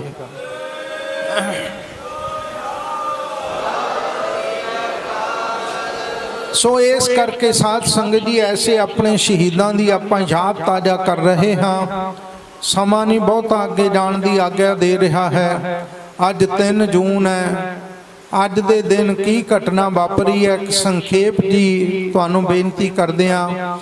ਮਹਾਪੁਰਖਾਂ ਦੇ ਨਨ ਪਿਆਰੇ, ਮਹਾਪੁਰਖਾਂ ਦੀ ਸੱਜੀ ਬਾਹ, ਮਹਾਪੁਰਖ ਸੰਤ ਗਿਆਨੀ ਕਰਤਾਰ ਸਿੰਘ ਜੀ ਖਾਲਸਾ ਪਿੰਡਰਾਂ ਵਾਲਿਆਂ ਦੇ ਵੱਡੇ ਸੁਪੁੱਤਰ, ਅਮਰ ਸ਼ਹੀਦ ਭਾਈ ਸਾਹਿਬ ਭਾਈ ਅਮਰੀਕ ਸਿੰਘ ਜੀ, ਅੱਜ ਆਪਣੇ ਪਰਿਵਾਰ ਨੂੰ ਆਪਣੇ ਕੋਲ ਬੁਲਾਉਂਦੇ ਆ ਘੇਰਾ ਚਾਰੇ ਪਾਸੇ ਪਿਆ। ਔਰ ਕਦਮ ਕਦਮ ਤੇ ਸਿੰਘਾਂ ਦੀਆਂ ਸ਼ਹੀਦੀਆਂ ਹੋ ਰਹੀਆਂ ਹਨ। ਗੋਲੀਆਂ ਚੱਲ ਰਹੀਆਂ, ਤੋਪਾਂ ਦੇ ਟੈਂਕਾਂ ਦੇ ਗੋਲੇ, ਸਿੰਘਾਂ ਦੇ ਮੋਰਚਿਆਂ ਵਿੱਚ ਆ ਕੇ ਦੜਦੜ ਕਰਕੇ ਡਿੱਗਦੇ ਐ। ਔਰ ਸਾਰੇ ਪਾਸੇ ਸਿੰਘਾਂ ਦੀਆਂ ਇੱਕ ਇੱਕ ਕਰਕੇ ਸ਼ਹੀਦੀਆਂ ਦੀ ਕਤਾਰ ਲੱਗੀ ਹੋਈ ਹੈ ਧੰਨ ਭਾਈ ਅਮਰੀਕ ਸਿੰਘ ਜੀ ਨੇ ਆਪਣਾ ਪਰਿਵਾਰ ਬੁਲਾਇਆ। ਬੁਲਾ ਕੇ ਕਹਿਣ ਲੱਗੇ ਕਿ ਥੋੜੇ ਸਮੇਂ ਦੇ ਵਿੱਚ ਕਰਫਿਊ ਵਿੱਚ ਢਿੱਲ ਮਿਲਣੀ ਹੈ ਤੁਸੀਂ ਇੱਥੋਂ ਰੁਖਸਤ ਹੋ ਜਾਓ ਚਲੇ ਜਾਓ। ਤੇ ਉਹਨਾਂ ਦੇ ਸਿੰਘਣੀ ਬਹੁਤ ਸਨਮਾਨਯੋਗ ਬੀਬੀ ਹਰਮੀਤ ਕੌਰ ਜੀ ਕਹਿਣ ਲੱਗੇ ਅਸੀਂ ਕਿਉਂ ਜਾਈਏ? ਕਹਿਣ ਲੱਗੇ ਨਹੀਂ ਤੁਸੀਂ ਚਲੇ ਜਾਓ ਇੱਥੋਂ। ਉਹ ਕਹਿਣ ਲੱਗੇ ਤੁਸੀਂ ਨਹੀਂ ਸਾਡੇ ਨਾਲ ਜਾਣਾ। ਭਾਈ ਸਾਹਿਬ ਕਹਿਣ ਲੱਗੇ ਕਦਾਚਿਤ ਨਹੀਂ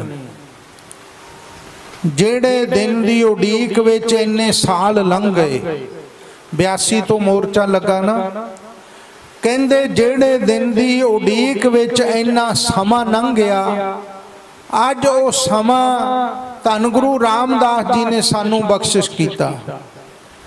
ਮੈਂ ਇੱਕ ਇੱਕ ਸਵਾਸ ਤੋਂ ਅਰਦਾਸ ਕਰਦਾ ਸੀ ਕਿ ਸੱਚੇ ਪਾਤਸ਼ਾਹ ਤੇਰੇ ਚਰਨਾਂ ਵਿੱਚ ਇੱਕ ਦਿਨ ਉਹ ਸਮਾਂ ਆ ਜਾਏ।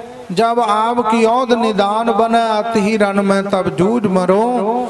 ਮੈਂ ਧੰਨ ਗੁਰੂ ਹਰਗੋਬਿੰਦ ਸਾਹਿਬ, ਧੰਨ ਗੁਰੂ ਰਾਮਦਾਸ ਜੀ ਦੇ ਚਰਨਾਂ ਵਿੱਚ ਸ਼ਹੀਦੀ ਪਾਵਾਂ ਔਰ ਆਪਣੇ ਆਪ ਨੂੰ ਧੰਨ ਭਾਗ ਸਮਝਾਂ। ਦੇਖੋ, ਸਾਧ ਸੰਗਤ ਜੀ ਇਹਨਾਂ ਸ਼ਹੀਦਾਂ ਦਾ ਜੀਰਾ। ਇਹਨਾਂ ਗੁਰਮੁਖ ਰੂਹਾਂ ਦੇ ਅੰਦਰ ਸ਼ਹੀਦ ਹੋਣ ਦਾ ਕਿੰਨਾ ਚਾਹ ਹੈ।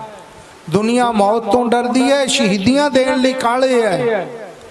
ਭਾਈ ਸਾਹਿਬ ਕਹਿਣ ਲੱਗੇ, ਮੈਂ ਸ਼ਹੀਦੀ ਲਈ ਤਿਆਰ ਹੋਇਆ ਬੈਠਾ ਹਾਂ। ਮੈਂ ਇੱਥੋਂ ਕਦਾ ਕਦਾਚਿਤ ਨਹੀਂ ਜਾਵਾਂਗਾ, ਮੈਂ ਇੱਥੇ ਸ਼ਹੀਦੀ ਦੇਵਾਂਗਾ ਆਪਣੇ ਸਤਿਗੁਰੂ ਦੇ ਚਰਨਾਂ ਵਿੱਚ। ਸੋ ਸਾਧ ਸੰਗਤ ਜੀ, ਐਸਾ ਦ੍ਰਿੜ ਸੰਕਲਪ, ਐਸਾ ਫੈਸਲਾ ਲੈ ਕੇ ਧੰਨ ਭਾਈ ਅਮਰੀਕ ਸਿੰਘ ਜੀ ਨੇ 6 ਜੂਨ ਨੂੰ ਮਹਾਪੁਰਖਾਂ ਦੇ ਨਾਲ ਸ੍ਰੀ ਅਕਾਲ ਤਖਤ ਸਾਹਿਬ ਜੀ ਦੇ ਸਨਮੁਖ ਆਪਣੀ ਸ਼ਹੀਦੀ ਦਿੱਤੀ। ਔਰ ਇੱਥੇ ਬਸ ਨਹੀਂ।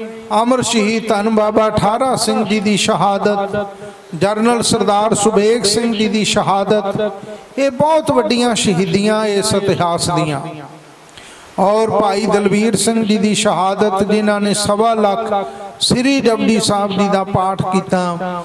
ਮਹਾਪੁਰਖਾਂ ਦੇ ਵੱਡੇ ਭਰਾਤਾ ਭਾਈ ਜਗੀਰ ਸਿੰਘ ਜੀ ਔਰ ਉਹਨਾਂ ਦੇ ਵੱਡੇ ਸੁਪੁੱਤਰ ਭਾਈ ਸਵਰਨ ਸਿੰਘ ਜੀ ਔਰ ਭਾਈ ਵੀਰ ਸਿੰਘ ਜੀ ਦੇ ਸੁਪੁੱਤਰ ਮਹਾਪੁਰਖਾਂ ਦੇ ਵੱਡੇ ਭਰਾਤਾ ਉਹ ਵੀ ਸਨ ਭਾਈ ਵੀਰ ਸਿੰਘ ਜੀ।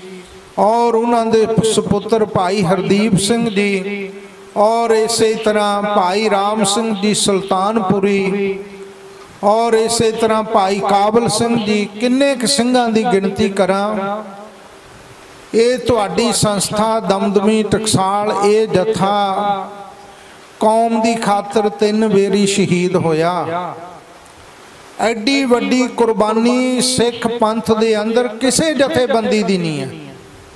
ਜਿੱਡੀ ਵੱਡੀ ਕੁਰਬਾਨੀ ਦਮਦਮੀ ਟਕਸਾਲ ਦੀ ਹੈ। ਇੱਕ ਵੇਰੀ ਦਮਦਮੀ ਟਕਸਾਲ ਸ਼ਹੀਦ ਹੋਈ ਧੰਨ ਬਾਬਾ ਦੀਪ ਸਿੰਘ ਜੀ ਦੇ ਸਮੇਂ ਸੱਚਖੰਡ ਸ੍ਰੀ ਹਰਮੰਦਰ ਸਾਹਿਬ ਜੀ ਦੀਆਂ ਪ੍ਰਕਰਮਾਂ ਵਿੱਚ।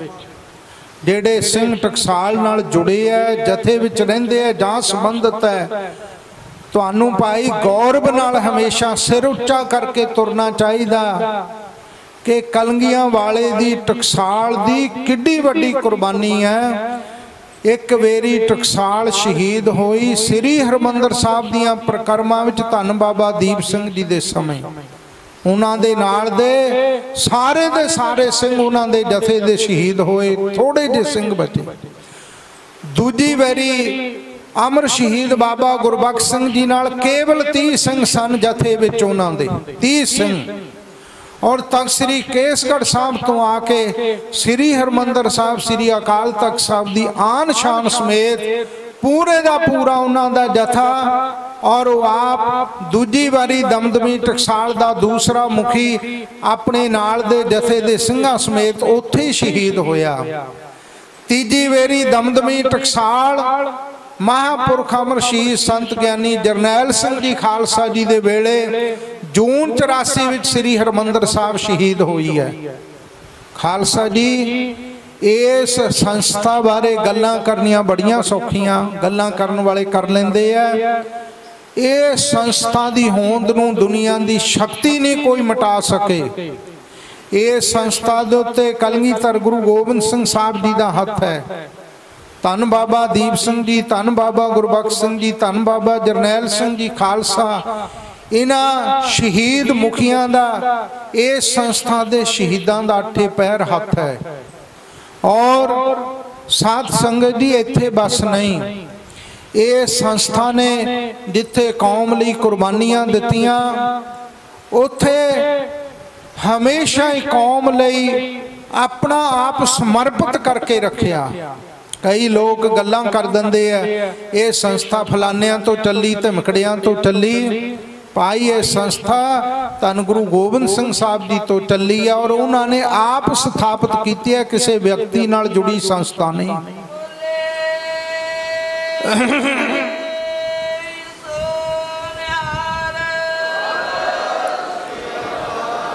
ਇਸ ਕਰਕੇ ਜਿੱਡੀ ਵੱਡੀ ਦਮਦਮੀ ਟਕਸਾਲ ਦੀ ਕੁਰਬਾਨੀ ਹੈ, ਪੰਥ ਨੂੰ ਦੇਣ ਹੈ। ਪੰਥ ਲਈ ਸੇਵਾ ਕੀਤੀ, ਪਰਉਪਕਾਰ ਕੀਤਾ, ਆਪਣੀਆਂ ਜਾਨਾਂ ਵਾਰੀਆਂ ਛਾਤੀਆਂ ਢਾ ਕੇ ਇਹ ਜਥੇਬੰਦੀ ਲੜੀ ਹੈ। ਐਡੀ ਵੱਡੀ ਕੁਰਬਾਨੀ ਸਿੱਖ ਪੰਥ ਵਿੱਚ ਕਿਸੇ ਵੀ ਜਥੇਬੰਦੀ ਦੀ ਨਹੀਂ ਹੈ। ਜਿੱਡੀ ਵੱਡੀ ਦਮਦਮੀ ਟਕਸਾਲ ਦੀ ਕੁਰਬਾਨੀ ਹੈ, ਸੇਵਾ ਹੈ ਪਰ ਉਪਕਾਰ ਹੈ ਕੌਮ ਲਈ ਔਰ ਪੰਥ ਨੂੰ ਹਮੇਸ਼ਾ ਇਹ ਜਥੇਬੰਦੀ ਸਮਰਪਿਤ ਰਹੀ ਹੈ ਸਤਿਗੁਰਾਂ ਤੋਂ ਲੈ ਕੇ। ਅੱਜ ਤੱਕ ਔਰ ਅੱਗੇ ਵੀ ਪੰਥ ਨੂੰ ਸਮਰਪਿਤ ਰਹੇਗੀ। ਸੋ ਭਾਈ ਇਸ ਕਰਕੇ ਤਾਂ ਮੈਂ ਇਹ ਬੇਨਤੀ ਕੀਤੀ ਹੈ, ਦਮਦਮੀ ਟਕਸਾਲ ਨੇ ਸਮਾਂ ਸਮਾਂ ਆਉਣ ਤੇ ਕੌਮ ਦੀ ਖਾਤਰ ਬਹੁਤ ਵੱਡੀਆਂ ਸ਼ਹਾਦਤਾਂ ਦਿੱਤੀਆਂ, ਕੁਰਬਾਨੀਆਂ ਦਿੱਤੀਆਂ। ਬਹੁਤ ਵੱਡੀ ਇਹ ਸੰਸਥਾ ਨੇ ਨਿਸਕਾਮ ਰਹਿ ਕੇ, ਪੰਥ ਦੇ ਪਿੱਛੇ ਰਹਿ ਕੇ ਕੌਮ ਦੀਆਂ ਸੇਵਾਵਾਂ ਕੀਤੀਆਂ। ਲੱਖਾਂ ਪ੍ਰਾਣੀਆਂ ਨੂੰ ਅੰਮ੍ਰਿਤ ਛਕਾਏ ਗੁਰਧਾਮਾਂ ਦੀ ਸੇਵਾ ਕਰਵਾਈ, ਵਿਦਵਾਨ ਕਥਾਵਾਚਕ ਪ੍ਰਚਾਰਕ ਉੱਚ ਕੋਟੀ ਦੇ, ਇਸ ਜਥੇਬੰਦੀ ਨੇ ਪੈਦਾ ਕੀਤੇ, ਅੱਜ ਵੀ ਪੈਦਾ ਕਰ ਰਹੀ ਹੈ। ਸੋ ਮਹਾਨ ਸੇਵਾਵਾਂ ਸਤਿਗੁਰੂ ਜੀ ਆਪ ਲੈ ਰਹੇ ਹੈ। ਸੋ ਆਓ, ਸਾਧ ਸੰਗਤ ਜੀ, ਧੰਨ ਗੁਰੂ ਅਰਜਨ ਦੇਵ ਸੱਚੇ ਪਾਤਸ਼ਾਹ ਜੀ ਦਾ ਇਹ ਪਰਮ ਪਵਿੱਤਰ ਇਤਿਹਾਸ, ਮਨ ਦੀਆਂ ਬਿਰਤੀਆਂ ਨੂੰ ਇਕਾਗਰ ਕਰੋ, ਕਿੱਥੇ ਇਹ ਕਥਾ ਚੱਲ ਰਹੀ ਹੈ। ਕੱਲ ਭਾਈ ਮੁਰਾਰੀ ਭਾਈ ਨਾਨੋ ਲਟਕਣ, ਭਾਈ ਕਲਿਆਣਾ, ਭਾਈ ਆਲਮ ਚੰਦ ਭਾਈ ਸਹਿਸਾਰਾ। ਇਹ ਸਿੱਖ ਸ੍ਰੀ ਗੁਰੂ ਅਰਜਨ ਦੇਵ ਜੀ ਦੇ ਦਰਸ਼ਨ ਕਰਨ ਸ੍ਰੀ ਅੰਮ੍ਰਿਤਸਰ ਸਾਹਿਬ ਆਏ ਹੈ। ਔਰ ਇਹਨਾਂ ਸਿੱਖਾਂ ਨੇ ਬੇਨਤੀ ਕੀਤੀ, ਸੱਚੇ ਪਾਤਸ਼ਾਹ, ਕਿਰਪਾ ਕਰੋ ਮਹਾਰਾਜ, ਕਿ ਜਿਹੜਾ ਗੁਰ ਸ਼ਬਦ ਦਾ ਅਭਿਆਸ ਹੈ ਨਾ, ਇਹ ਸਾਡੇ ਮਨ ਵਿੱਚ ਨਹੀਂ ਵਸਦਾ। ਔਰ ਜਦੋਂ ਅਸੀਂ ਬਾਣੀ ਦਾ ਗੁਰ ਸ਼ਬਦ ਦਾ ਅਭਿਆਸ ਕਰਦੇ ਆਂ ਜਾਪ ਕਰਦੇ ਆਂ ਉਦੋਂ ਮਨ ਝੁਕ ਜਾਂਦਾ ਬਾਣੀ ਵੱਲ ਨੂੰ। ਤੁਹਾਡੇ ਸਿਧਾਂਤਾਂ ਵੱਲ ਨੂੰ, ਤੁਹਾਡੇ ਬਚਨਾਂ ਵੱਲ ਨੂੰ। ਪਰ ਜਦੋਂ ਬਿਹਾਰਾਂ ਵਿੱਚ ਜਾ ਕੇ ਲੱਗ ਜਾਈਦਾ, ਦੁਨੀਆ ਦੇ ਕੰਮਾਂ ਧੰਦਿਆਂ ਵਿੱਚ, ਤਾਂ ਉਹ ਅਭਿਆਸ ਸਾਨੂੰ ਭੁੱਲ ਜਾਂਦਾ। ਉਹ ਸਾਡੀ ਬਿਰਤੀ ਦੀ ਇਕਾਗਰਤਾ ਜਿਹੜੀ ਹੈ ਉਹ ਸਾਡੇ ਕੋਲੋਂ ਚਲੀ ਜਾਂਦੀ ਹੈ। ਉਹ ਰਸ, ਉਹ ਆਨੰਦ ਸਾਡੇ ਕੋਲੋਂ ਗੁਪਤ ਹੋ ਜਾਂਦਾ ਹੈ। ਆਪ ਕਿਰਪਾ ਕਰੋ ਮਹਾਰਾਜ, ਸਾਨੂੰ ਕੋਈ ਐਸਾ ਉਪਦੇਸ਼ ਦਿਓ ਜਿਸ ਨਾਲ ਉਹ ਆਨੰਦ ਸਦੀਵ ਕਾਲ ਸਾਡੇ ਹਿਰਦੇ ਵਿੱਚ ਬਣਿਆ ਰਹੇ। ਇਸ ਕਰਕੇ ਸਤਿਗੁਰੂ ਸੱਚੇ ਪਾਤਸ਼ਾਹ ਮਹਾਰਾਜ ਜੀ ਨੇ ਇਹਨਾਂ ਗੁਰਸਿੱਖਾਂ ਨੂੰ ਕੀ ਉਪਦੇਸ਼ ਦਿੱਤਾ? ਆਓ ਮਨ ਬਿਰਤੀ ਨੂੰ ਇਕਾਗਰ ਕਰਕੇ ਸਰਵਣ ਕਰੋ। ਸਤਨਾਮ ਸ੍ਰੀ ਵਾਹਿਗੁਰੂ ਸਾਹਿਬ ਜੀ। ਅਨਕ ਜਨਮ ਦੁਰਮਤ ਵਿਵਹਾਰਾ। ਮਹਾਰਾਜ ਕਹਿੰਦੇ ਭਾਈ ਤੁਹਾਡੇ ਜਨਮਾਂ ਦੇ ਅਨੇਕਾਂ ਜਨਮ ਤੁਸੀਂ ਪਿਛਲੇ ਜਨਮਾਂ ਵਿੱਚ ਲਏ ਐ। ਜਿਹੜਾ ਪਹਿਲੀ ਵਾਰ ਪਸ਼ੂ ਸ਼੍ਰੇਣੀ ਵਿੱਚੋਂ ਜਨਮ ਲੈਂਦਾ ਨਾ ਬੰਦਾ ਉਹਦੀ ਇੱਕ ਨਿਸ਼ਾਨੀ ਹੁੰਦੀ ਆ, ਉਹਦੇ ਪਸ਼ੂਆਂ ਵਰਗੇ ਕਰਤੱਵ ਬਹੁਤ ਹੋਣਗੇ। ਪਸ਼ੂਆਂ ਵਾਂਗੂ ਹੀ ਸੌਂਗਾ ਪਸ਼ੂਆਂ ਵਰਗਾ ਹੀ ਸੁਭਾਅ ਹੁੰਦਾ, ਪਸ਼ੂਆਂ ਵਾਂਗੂ ਖਾਂਦਾ ਪੀਂਦਾ। ਔਰ ਹੌਲੀ ਹੌਲੀ ਉਹ ਸਤ ਸੰਗਤ ਵਿੱਚ ਆਉਣ ਲੱਗ ਜਾਏ, ਫੇਰ ਉਹਦਾ ਜੀਵਨ ਕਿਤੇ ਬਦਲੇਗਾ। ਜਿਨ੍ਹਾਂ ਦੇ ਪਿਛਲੇ ਜਨਮਾਂ ਦੇ ਵਿੱਚ ਕੁਝ ਨਾ ਕੁਝ ਜਿਨ੍ਹਾਂ ਨੇ ਅੱਗੇ ਤੋਂ ਅੱਗੇ ਪ੍ਰਗਤੀ ਕੀਤੀ ਹੈ। ਭਾਵ ਅੱਗੇ ਤੋਂ ਅੱਗੇ ਹੋਰ ਜੀਵਨ ਜਿਹੜਾ ਹੈ, ਚੰਗੇ ਤੋਂ ਚੰਗਾ ਬਣਦਾ ਗਿਆ। ਉਹਨਾਂ ਦੇ ਜੀਵਨ ਵਿੱਚ ਸਾਧ ਸੰਗਤ ਦੀ ਇੱਕ ਵੱਖਰਾ ਹੀ ਪ੍ਰਭਾਵ ਹੁੰਦਾ। ਹੈ ਉਹ ਸੇਵਾ ਵਿੱਚ ਵੀ ਤੁਰੰਤ ਲੱਗਣਗੇ, ਬਾਣੀ 'ਚ ਵੀ ਲੱਗਣਗੇ ਪਰਉਪਕਾਰ ਲਈ ਵੀ ਲੱਗਣਗੇ, ਸਿਮਰਨ ਵਿੱਚ ਵੀ ਜੁੜਨਗੇ ਜਿਨ੍ਹਾਂ ਤੇ ਪਿਛਲੀ ਘਾਲਣਾ ਦਾ ਅਸਰ ਹੋਵੇ, ਪਿਛਲੀ ਕਮਾਈ ਦਾ। ਇਸ ਕਰਕੇ ਮਹਾਰਾਜ ਕਹਿੰਦੇ ਵੀ ਅਨੇਕਾਂ ਜਨਮਾਂ ਵਿੱਚ ਤੁਸੀਂ ਦੁਰਮਤ ਦਾ ਵਿਹਾਰ ਕੀਤਾ ਮਨਮਤ ਦਾ ਵਿਹਾਰ ਕੀਤਾ। ਅਨੇਕਾਂ ਜਨਮਾਂ ਦੇ ਵਿੱਚ ਪਾਪ ਕਮਾਉਂਦੇ ਆਏ ਹੋ। ਸੋ ਅਭਿਆਸ ਬਲੀ ਔਰ ਧਾਰਾ। ਉਹ ਸੰਸਕਾਰ ਉਹ ਸੰਕਲਪ ਬਲੀ ਪੂਰਵਕ ਬਲ ਪੂਰਵਕ। ਤੁਹਾਡੇ ਹਿਰਦੇ ਵਿੱਚ ਉਹਨਾਂ ਨੇ ਆਪਣਾ ਥਾਂ ਬਣਾਇਆ ਹੋਇਆ ਅੰਦਰੋਂ ਨਿਕਲਦੇ ਨਹੀਂ। ਗੁਰਮੁਖ ਕਹਿੰਦਾ ਜੀ, ਬਾਣੀ ਪੜ੍ਹੀ ਦੀ ਹੈ, ਪਰ ਮਨ ਵਿੱਚੋਂ ਈਰਖਾ ਨਹੀਂ ਨਿਕਲਦੀ। ਬਾਣੀ ਪੜ੍ਹੀ ਦੀ ਹੈ, ਮਨ ਵਿੱਚੋਂ ਲੋਭ ਨਹੀਂ ਜਾਂਦਾ। ਬਾਣੀ ਪੜ੍ਹੀ ਦੀ ਹੈ, ਮਨ ਵਿੱਚੋਂ ਕ੍ਰੋਧ ਨਹੀਂ ਜਾਂਦਾ। ਬਾਣੀ ਪੜ੍ਹੀ ਦੀ ਹੈ, ਹੰਕਾਰ ਹੀ ਨਹੀਂ ਜਾਂਦਾ। ਐਡੋ ਟੇਡੋ ਜਾਤ ਵਾਲੀ ਹਾਲਤ ਬਣੀ ਹੋਈ ਹੈ। ਬਾਣੀ ਪੜ੍ਹੀ ਦੀ ਹੈ, ਮਨ ਵਿੱਚੋਂ ਮੋਹ ਨਹੀਂ ਜਾਂਦਾ। ਬਾਣੀ ਪੜ੍ਹੀ ਦੀ ਹੈ, ਮਨ ਵਿੱਚੋਂ ਤ੍ਰਿਸ਼ਨਾ ਨਹੀਂ ਜਾਂਦੀ, ਬੜਾ ਦੁਖੀ ਕਰਦੀ ਹੈ। ਬਾਰ-ਬਾਰ ਇਹਨਾਂ ਦਾ ਅਸਰ ਬੜਾ ਪ੍ਰਬਲ ਹੋ ਕੇ ਮਨ ਉੱਤੇ ਪੈਂਦਾ। ਮਹਾਰਾਜ ਕਹਿੰਦੇ, ਬਈ ਉਹਨਾਂ ਨੇ ਬਲ ਪੂਰਵਕ ਆਪਣਾ ਅਸਰ ਪਾਇਆ ਹੋਇਆ। ਉਹ ਹਿਰਦੇ ਦੇ ਵਿੱਚ ਆਪਣਾ ਥਾਂ ਬਣਾ ਕੇ ਬੈਠੇ ਆ। ਉਹ ਹਿੱਲਦੇ ਨਹੀਂ ਉੱਥੋਂ। ਐਨ ਉਹਨਾਂ ਨੇ ਆਪਣਾ ਆਸਣ ਜਮਾ ਕੇ ਉੱਥੇ ਬੈਠੇ ਹੋਏ ਹਨ। ਗੁਰੂ ਸ਼ਬਦ ਮੈਂ ਅਬ ਅਭਿਆਸਾ। ਇਹ ਉਹਨਾਂ ਨੂੰ ਉੱਥੋਂ ਉਠਾਉਣਾ ਨਾ ਉਖੇੜਨਾ। ਉਹਨਾਂ ਨੂੰ ਲਾਂਬੇ ਕਰਨਾ ਪਾਸੇ ਕਰਨਾ ਮਹਾਰਾਜ ਕਹਿੰਦੇ ਤਾਂ ਗੁਰ ਸ਼ਬਦ ਦਾ ਅਭਿਆਸ ਕਰਨਾ ਪਏਗਾ। ਕਰਤ ਕਰਤ ਅਭਿਆਸ ਤੇ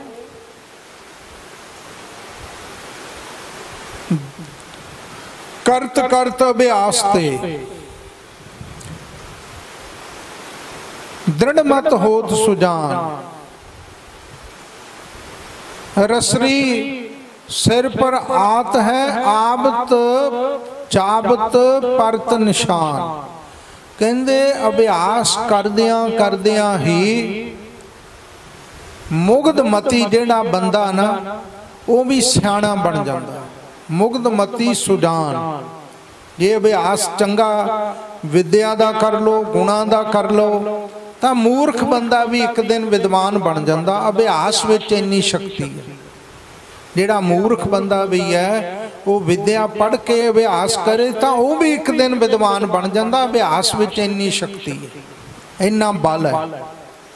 ਇਸ ਕਰਕੇ ਜਿਵੇਂ ਕਹਿੰਦੇ ਖੂਹਾਂ ਤੋਂ ਪਾਣੀ ਕੱਢਦੇ ਸਨ ਲੱਜਾਂ ਦੇ ਨਾਲ, ਰੱਸਿਆਂ ਨਾਲ ਤੇ ਹੌਲੀ ਹੌਲੀ ਉਹ ਪਾਣੀ ਦੇ ਨਾਲ ਜਦੋਂ ਥੱਲਿਓਂ ਡੋਲ ਵਿੱਚ ਪਾਣੀ ਕੱਢਦੇ ਸਨ ਤਾਂ ਮੌਣ ਦੇ ਉੱਤੇ ਉਹਨਾਂ ਦੇ ਨਿਸ਼ਾਨ ਪੈ ਜਾਂਦੇ ਸਨ ਕਹਿੰਦੇ ਅਭਿਆਸ ਨਾਲ ਪੱਥਰ ਦੇ ਵਿੱਚ ਵੀ ਨਿਸ਼ਾਨ ਪੈ ਗਿਆ। ਇਸ ਕਰਕੇ ਅਭਿਆਸ ਦਾ ਇੰਨਾ ਵੱਡਾ ਸਾਧ ਸੰਗਤ ਦੀ ਫਲ ਹੈ। ਕਹਿੰਦੇ ਭਾਈ ਗੁਰ ਸ਼ਬਦ ਦਾ ਅਭਿਆ- ਅਭਿਆਸ ਕੀ ਹੁੰਦਾ? ਬਾਰ-ਬਾਰ ਜਪਣਾ, ਬਾਰ-ਬਾਰ ਸਿਮਰਨ ਕਰਨਾ।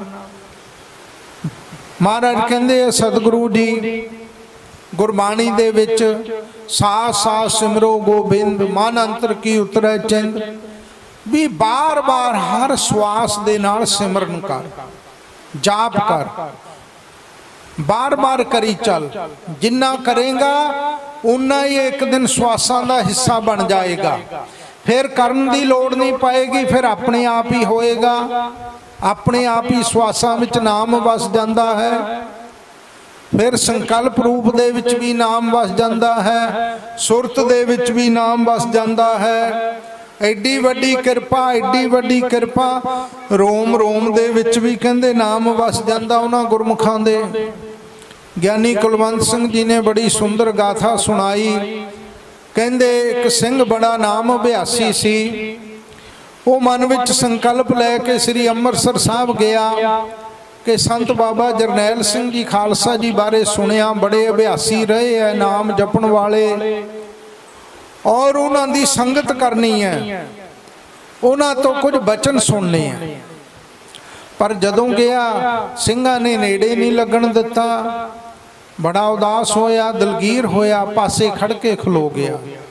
ਮਹਾਪੁਰਸ਼ ਦਰਬਾਰ ਸਾਹਿਬ ਤੋਂ ਦਰਸ਼ਨ ਕਰਕੇ ਸ੍ਰੀ ਗੁਰੂ ਨਾਨਕ ਨਿਵਾਸ ਵੱਲ ਨੂੰ ਤੁਰੇ ਜਾ ਰਹੇ ਸਨ। ਅਚਾਨਕ ਆਪਣੇ ਕਦਮ ਰੋਕ ਕੇ ਉਹ ਸਿੰਘ ਵੱਲ ਦੇਖਿਆ ਤੇ ਉਹਦੇ ਕੋਲੇ ਆਪ ਹੀ ਚਲੇ ਗਏ। ਦੇਖੋ, ਐਸੀ ਉਹਨਾਂ ਦੀ ਦਿਵ ਦ੍ਰਿਸ਼ਟੀ। ਉਹਨੂੰ ਗਲਵਕੜੀ ਵਿੱਚ ਲੈ ਕੇ ਮਹਾਪੁਰਖਾਂ ਨੇ ਆਪਣੀ ਛਾਤੀ ਨਾਲ ਲਾਇਆ ਔਰ ਉਹ ਸਿੰਘ ਅਸਚਰਜ ਰਹਿ ਗਿਆ ਕਿ ਸੰਤਾਂ ਦੇ ਰੋਮ ਰੋਮ ਵਿੱਚੋਂ ਉਹਨੂੰ ਸੁਖਮਨੀ ਸਾਹਿਬ ਦਾ ਪਾਠ ਸੁਣ ਰਿਹਾ ਸੀ। ਆਖੋ ਭਾਈ ਵਾਹਿਗੁਰੂ, ਉਹਨਾਂ ਦੇ ਰੋਮ ਰੋਮ ਵਿੱਚੋਂ ਸੁਖਮਨੀ ਸਾਹਿਬ ਦਾ ਜਾਪ ਚੱਲ ਰਿਹਾ ਸੀ। ਗੁਰਮੁਖਾਂ ਦੇ ਮੂਲ ਮੰਤਰ ਵੀ, ਜਪਜੀ ਸਾਹਿਬ ਦੇ ਪਾਠ ਵੀ, ਜਿਨ੍ਹਾਂ ਦੀ ਬਹੁਤ ਅਤ ਅਭਿਆਸ, ਅਤ ਉੱਤਮ ਅਵਸਥਾ ਹੁੰਦੀ ਹੈ, ਉਹਨਾਂ ਉੱਤੇ ਮਹਾਨ ਰਹਿਮਤਾਂ ਸਤਿਗੁਰੂ ਜੀ ਦੀਆਂ ਹੋ ਜਾਂਦੀਆਂ ਹਨ, ਕਿਉਂਕਿ ਉਹਨਾਂ ਦੇ ਰੋਮ ਰੋਮ ਜਿੰਨੇ ਆ, ਉਹ ਸਾਰੀਆਂ ਉਹਨਾਂ ਦੀਆਂ ਜ਼ੁਬਾਨਾਂ ਬਣ ਜਾਂਦੀਆਂ। ਜਿਹੜੇ ਰੋਮ ਹੈ ਨਾ, ਇਹ ਸਾਰੇ ਜ਼ੁਬਾਨ ਬਣ ਜਾਂਦੇ ਆ। ਰੋਮ ਵੀ ਜ਼ੁਬਾਨ ਬਣ ਕੇ ਪ੍ਰਭੂ ਦੇ ਨਾਮ ਨੂੰ ਉਚਾਰਦੇ ਹਨ। ਇਸ ਕਰਕੇ ਮਹਾਰਾਜ ਕਹਿੰਦੇ, ਭਾਈ, ਇਹ ਜਿਹੜਾ ਗੁਰ ਸ਼ਬਦ ਦਾ ਅਭਿਆਸ ਹੈ, ਇਹ ਬਾਰ-ਬਾਰ ਕਰੋ। ਸਾਥ ਸਾਥ ਸਿਮਰੋ ਗੋਬਿੰਦ, ਬਾਰ-ਬਾਰ, ਹਰ ਸਵਾਸ ਵਿੱਚ, ਹਰ ਸਵਾਸ ਵਿੱਚ ਸਿਮਰਨ ਕਰੋ, ਮੂਲ ਮੰਤਰ ਦਾ ਜਾਪ ਕਰੋ। ਐਸੇ ਗੁਰਸਿੱਖਾਂ ਦੀ ਮੈਂ ਹੈਰਾਨ ਰਹਿ ਜਾਣਾ ਅਵਸਥਾ ਸੁਣ ਕੇ ਕਈ ਵਾਰੀ ਕਿ ਉਹਨਾਂ ਨੇ ਇੱਕ ਸਵਾਸ ਵਿੱਚ ਮੂਲ ਮੰਤਰ ਦਾ ਅਭਿਆਸ ਕਰ ਲਿਆ, ਇੱਕ ਇੱਕ ਸਵਾਸ ਵਿੱਚ। ਦੇਖੋ, ਸੁਰਤ ਬੜੀ ਪੱਕੀ ਹੁੰਦੀ ਹੈ, ਸੁਰਤ ਦਾ ਅਭਿਆਸ। ਸੁਰਤੀ ਕਾ ਮਾਰਗ ਚੱਲ ਕਾ ਉਲਟੀ ਨਜ਼ਰ ਪ੍ਰਕਾਸ਼। ਉਦਾਂ ਕਰਨਾ ਬਹੁਤ ਕਠਿਨ ਹੈ, ਬਹੁਤ ਕਠਿਨ ਹੈ। ਪਰ ਜਦੋਂ ਸੁਰਤ ਵਿੱਚ ਅਭਿਆਸ ਪੱਕ ਜਾਂਦਾ, ਹੁਣ ਸੰਤ ਬਾਬਾ ਈਸ਼ਰ ਸਿੰਘ ਜੀ ਰਾਣਾ ਸਾਹਿਬ ਵਾਲੇ ਮਹਾਪੁਰਖਾਂ ਬਾਰੇ ਸੁਣਿਆ ਕਿ ਉਹ 25 ਪਾਠ ਸੁਖਮਨੀ ਸਾਹਿਬ ਦੇ ਕਰਦੇ ਸਨ ਨਿਤਨੇਮ ਰੋਜ਼ਾਨਾ। ਪਰ ਉਹ ਕਿਵੇਂ ਕਰਦੇ ਹੋਣਗੇ? 24 ਤਾਂ ਘੰਟੇ ਆ। ਘੰਟੇ ਵਿੱਚ ਸੁਖਮਨੀ ਸਾਹਿਬ ਦਾ ਪਾਠ ਹੁੰਦਾ। ਮਨਮਤੀ ਐਵੇਂ ਸ਼ੰਕਾ ਕਰੀ ਜਾਂਦੇ ਆ ਕਿਉਂਕਿ ਉਸ ਮਾਰਗ ਤੇ ਨਹੀਂ ਚੱਲੇ। ਜਿਹੜਾ ਬੰਦਾ 5 ਕਿਲੋਮੀਟਰ ਨਹੀਂ ਤੁਰ ਸਕਦਾ। ਉਹ ਭਾਈ 10 ਕਿਲੋਮੀਟਰ ਤੁਰਨ ਵਾਲੇ ਤੇ ਸ਼ੰਕਾ ਤਾਂ ਕਰੇ ਹੀ ਨਾ ਵੀ ਇਹ ਕਿਵੇਂ ਤੁਰ ਗਿਆ, ਪਰ ਉਹ ਤੁਰ ਜਾਂਦਾ। 100-100 ਕਿਲੋਮੀਟਰ ਦਾ ਸਫ਼ਰ ਵੀ ਕਈ ਕਰ ਲੈਂਦੇ ਆ। ਉਹ ਉਹਨਾਂ ਦਾ ਅਭਿਆਸ ਹੈ, ਮਿਹਨਤ ਹੈ, ਮਸ਼ਕਤ ਹੈ। ਉਹ ਸੰਤ ਫੇਰ ਕਹਿੰਦੇ ਸੁਰਤ ਦੇ ਨਾਲ ਉਹ 25 ਪਾਠ ਕਰ ਦਿੰਦੇ ਸੀ। ਸੰਤ ਬਾਬਾ ਕਰਤਾਰ ਸਿੰਘ ਜੀ ਖਾਲਸਾ ਜੀ ਸਾਢੇ 17 ਮਿੰਟਾਂ ਵਿੱਚ ਵੱਡੇ ਮਹਾਪੁਰਖਾਂ ਨੂੰ ਬੋਲ ਕੇ ਸੁਖਮਨੀ ਸਾਹਿਬ ਦਾ ਪਾਠ ਸੁਣਾ ਦਿੰਦੇ ਸੀ। ਇੰਨੀ ਉਹਨਾਂ ਤੇ ਕਿਰਪਾ ਸੀ। ਇੰਨੀ ਬਖਸ਼ਿਸ਼ ਸੀ ਇੰਨੀ ਰਹਿਮਤ ਸੀ ਬੜਾ ਕਠਿਨ ਹੈ। ਸੋ ਸਾਧ ਸੰਗਤ ਇਹ ਕਿਰਪਾ ਕਿਵੇਂ ਹੁੰਦੀ ਹੈ? ਇਹਦਾ ਉੱਤਰ ਮੈਂ ਨਹੀਂ ਗੁਰਬਾਣੀ ਦੇ ਰਹੀ ਹੈ ਇੱਕ ਤੋਂ ਇੱਕ ਚੜੰਦੀਆ ਕੌਣ ਜਾਣੈ ਮੇਰਾ ਨਾਉ ਜੀਓ? ਇੱਕ ਤੋਂ ਉੱਤੇ ਦੂਸਰੇ ਤੋਂ ਉੱਤੇ ਚੜ੍ਹਦੀ ਤੋਂ ਚੜ੍ਹਦੀ ਅਵਸਥਾ ਵਾਲੇ ਗੁਰਮੁਖ ਹੁੰਦੇ ਆ। ਪਰ ਜਿਹੜਾ ਗੁਰਮੁਖ ਹੈ ਆਪਣੀ ਅਵਸਥਾ ਕਿਸੇ ਨੂੰ ਜਣਾਉਂਦਾ ਨਹੀਂ ਕਿਸੇ ਨੂੰ ਦਿਖਾਉਂਦਾ ਨਹੀਂ ਕਿਸੇ ਨੂੰ ਦੱਸਦਾ ਨਹੀਂ। ਢੋਲ ਨਹੀਂ ਪਿੱਟਦਾ ਉਹ। ਕਈਆਂ ਦੀ ਹੁੰਦੀ ਨਹੀਂ ਉਵੇਂ ਢੋਲ ਪਿੱਟੀ ਜਾਂਦੇ ਮੈਨੂੰ ਆਹ ਹੋ ਗਿਆ ਮੈਨੂੰ ਉਹ ਹੋ ਗਿਆ ਹੁੰਦਾ ਹੁੰਦਾ ਉਹਨਾਂ ਨੂੰ ਕੱਕ ਵੀ ਨਹੀਂ ਹੈ ਸੋ ਭਾਈ ਇਸ ਕਰਕੇ ਮਹਾਰਾਜ ਕਹਿੰਦੇ ਭਾਈ ਗੁਰ ਸ਼ਬਦ ਦਾ ਅਭਿਆਸ ਬਾਰ-ਬਾਰ ਅਭਿਆਸ ਕੀ ਬਾਰ-ਬਾਰ ਜਪੋ ਬਾਰ-ਬਾਰ ਜਪੋ। ਭਇਓ ਅਲਪ ਹੀ ਨਹੀਂ ਪ੍ਰਕਾਸ਼ਾ। ਆਰਾ ਕਹਿੰਦੇ ਅਜੇ ਤਾਂ ਅਲਪ ਅਜੇ ਤੁਸੀਂ ਥੋੜਾ ਹੀ ਅਭਿਆਸ ਕੀਤਾ। ਅਜੇ ਤੁਹਾਡੇ ਅੰਦਰ ਨਾਮ ਦਾ ਪ੍ਰਕਾਸ਼ ਨਹੀਂ ਹੋਇਆ। ਪਉ ਫੁੱਟੀ ਪੀਅਰੀ ਭਈ। ਅਭਿਆਸ ਕਰਦਿਆਂ ਕਰਦਿਆਂ ਕਰਦਿਆਂ ਜਦੋਂ ਅਭਿਆਸੀ ਅੱਗੇ ਤੋਂ ਅੱਗੇ ਉਹਦਾ ਅਭਿਆਸ ਪਰਪੱਕ ਹੋ ਜਾਂਦਾ ਨਾ, ਕਹਿੰਦੇ ਉਹਦੇ ਹਿਰਦੇ ਵਿੱਚ ਜਦੋਂ ਪੈ ਜਿਵੇਂ ਪੈ ਫਟਦੀ ਹੈ। ਸੂਰਜ ਚੜ੍ਹਨ ਤੋਂ ਬਾਅਦ, ਰਾਤ ਮੁੱਕਣ ਤੋਂ ਬਾਅਦ ਜਿਹੜਾ ਉਹ ਸਮੇਂ ਰੋਸ਼ਨੀ ਹੁੰਦੀ ਹੈ ਨਾ, ਦਿਨ ਚੜ੍ਹਦਾ, ਉਹਨੂੰ ਪੌ ਫੁੱਟੀ ਕਹਿੰਦੇ ਆ। ਪੌ ਫੁੱਟੀ ਵਰਗਾ ਅੰਦਰ ਪ੍ਰਕਾਸ਼ ਹੋ ਜਾਣਾ। ਚਲੋ ਆਪਾਂ ਕਿਉਂ ਇਸ ਪਾਸੇ ਜਾਣਾ?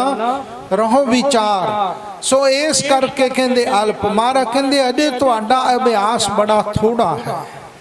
ਬਹੁਤ ਥੋੜਾ ਅਜੇ ਪ੍ਰਕਾਸ਼ ਨਹੀਂ ਹੋਇਆ ਅੰਦਰ ਹਿਰਦੇ ਦੇ ਵਿੱਚ। ਬਹੁ ਦਿਨ ਕੋ ਦ੍ਰਿੜ ਤਨ ਅਭਿਮਾਨ। ਬਹੁਤ ਦਿਨਾਂ ਦਾ ਤਾਂ ਤਨ ਸਰੀਰ ਦਾ ਹੀ ਅਭਿਮਾਨ ਅਜੇ ਪੱਕਾ ਮਨ ਵਿੱਚ ਥਾਂ ਬਣਾ ਕੇ ਰੱਖੀ ਬੈਠਾ ਹੈ। ਦੇ ਅਭਿਮਾਨੰ ਨਾ ਜਤਰ ਪਾਪੰ ਕੋਟ ਗਉ ਬੱਤੇ ਕਹਿੰਦੇ ਦੇਹ ਦਾ ਅਭਿਮਾਨ ਕਰ ਲਿਆ, ਹੰਕਾਰ ਕਰ ਲਿਆ। ਇੰਨਾ ਵੱਡਾ ਪਾਪ ਹੈ ਕਿ ਕਰੋੜ ਗਊ ਦਾ ਕਤਲ ਕਰ ਲਿਆ, ਜਿਹੋ ਜਿਹਾ ਆਪਣੇ ਸਰੀਰ ਦਾ ਹੰਕਾਰ ਕਰ ਲਿਆ। ਮੈਂ ਬੜਾ ਸੋਹਣਾ, ਮੈਂ ਬੜਾ ਬਲੀ, ਮੈਂ ਬੜਾ ਗੁਣਵਾਨ, ਬੜਾ ਗਿਆਨੀ, ਬੜਾ ਧਿਆਨੀ। ਮੇਰੇ ਵਰਗਾ ਦੂਜਾ ਕੋਈ ਹੈ ਨਹੀਂ ਇਹ ਸਾਰਾ ਅਭਿਮਾਨ ਹੀ ਹੈ ਹੰਕਾਰ ਹੀ। ਹੈ ਕਹਿੰਦੇ ਜਦੋਂ ਮਨ ਵਿੱਚ ਇਹ ਖਿਆਲ ਆ ਗਿਆ ਨਾ ਇੱਕ ਵਾਰੀ ਵੀ ਤਾਂ ਕਰੋੜ ਗਊ ਦੇ ਕਤਲ ਕਰਨ ਜਿੰਨਾ ਪਾਪ ਲੱਗ ਜਾਂਦਾ ਬੰਦੇ ਨੂੰ। ਇੰਨਾ ਅਪਮਾਨ ਹੰਕਾਰ ਕਰਨ ਦਾ ਪਾਪ ਹੈ। ਮਹਾਰਾਜ ਅੱਗੇ ਬੇਨਤੀ ਕਰਦੇ ਰਹੋ ਕਿ ਸੱਚੇ ਪਾਤਸ਼ਾਹ ਹੰਕਾਰ ਨਾ ਕਦੇ ਮਨ ਵਿੱਚ ਭੁੱਲ ਕੇ ਵੀ ਆ ਜਾਏ। ਪਰਮੇਸ਼ਰ ਨੂੰ ਮਨੁੱਖ ਦੀ ਸਭ ਤੋਂ ਜਿਹੜੀ ਭੈੜੀ ਆਦਤ ਲੱਗਦੀ ਹੈ ਸਭ ਤੋਂ ਭੈੜਾ ਮਨੁੱਖ ਦਾ ਇੱਕ ਦੁਰਵਸਨ ਹੈ। ਕੀ ਹੈ? ਉਹ ਪਰਮੇਸ਼ਰ ਨੂੰ ਹੰਕਾਰ ਨਹੀਂ ਚੰਗਾ ਲੱਗਦਾ। ਕਿਸੇ ਬੰਦੇ ਦਾ।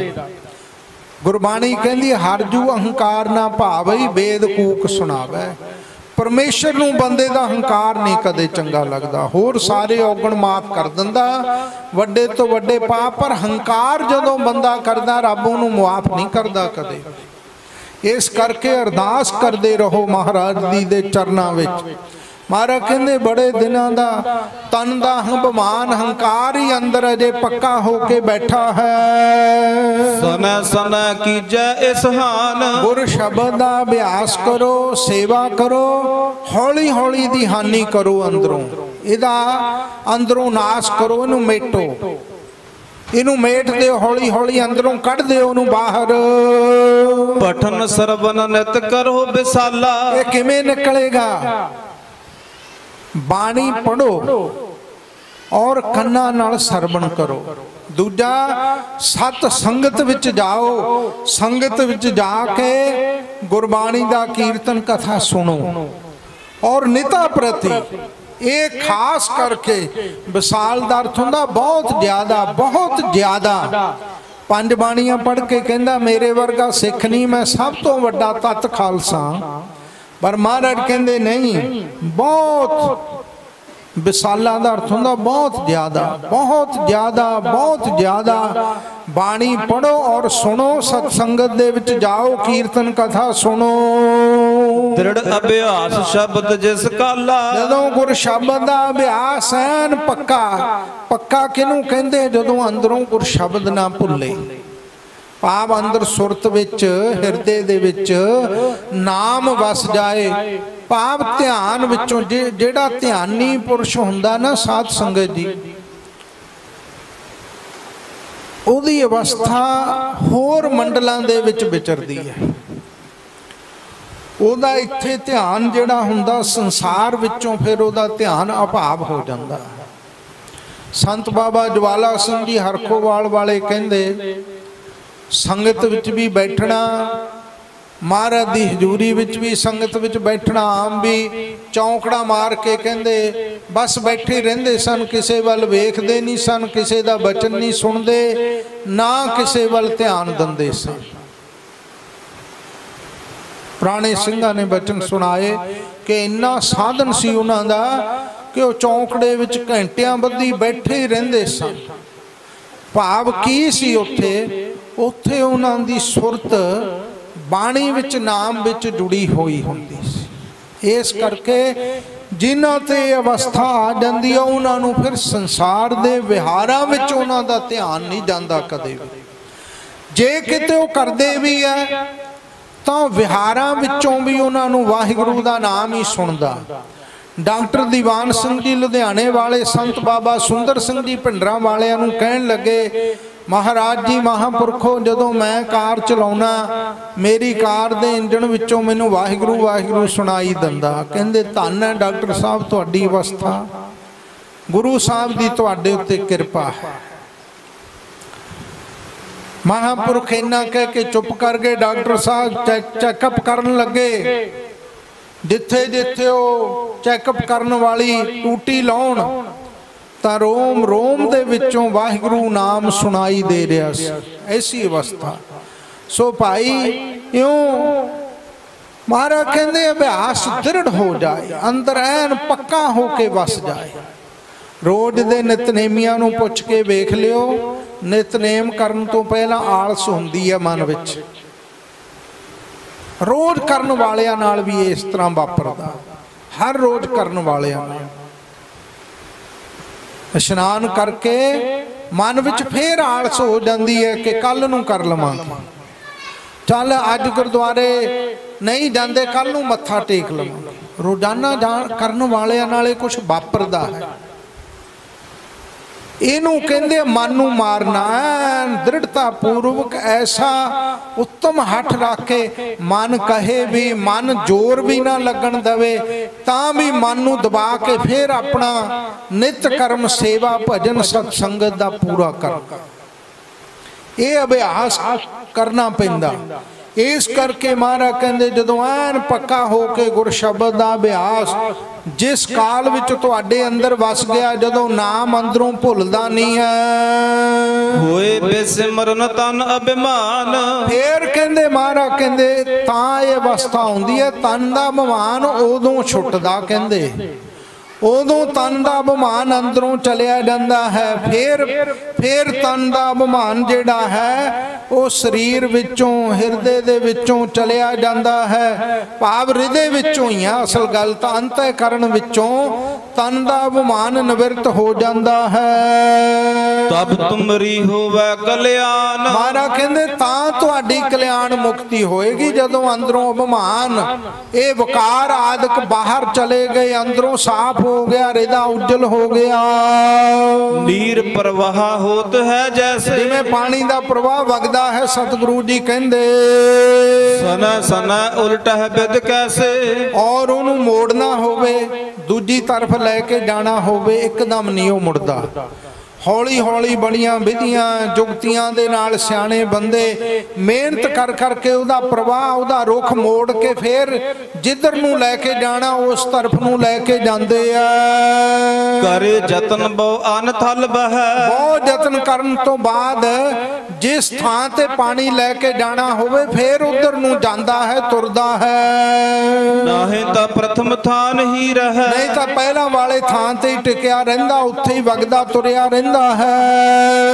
ਪੂਰਬ ਕਰੀਏ ਮਨ ਨੀਵਾਣ। ਮਾਰਾ ਕਹਿੰਦੇ ਪਹਿਲਾਂ ਮਨ ਨੂੰ ਨੀਵਾ ਕਰੋ। ਮਨ ਵਿੱਚ ਨਿਮਰਤਾ ਲਿਆਓ। ਮਨ ਨੂੰ ਨੀਵਾ ਕੀ ਕਰਨਾ? ਗੁਰੂ ਵੱਲ ਨਿਵਾ ਦਿਓ। ਗੁਰੂ ਨੂੰ ਗੁਰੂ ਨਾਲ ਜੋੜ ਦਿਓ। ਬਾਣੀ ਨਾਲ ਜੋੜ ਦਿਓ। ਸਤ ਸੰਗਤ ਨਾਲ ਜੋੜ ਦਿਓ। ਇਉਂ ਗੁਰੂ ਵੱਲ ਨੂੰ ਇਹਨੂੰ ਨੀਵਾ ਕਰ ਦੇਣਾ। ਨਿਮਰਤਾ ਵਿੱਚ ਕਿੱਡੀ ਵੱਡੀ ਸ਼ਕਤੀ ਹੈ।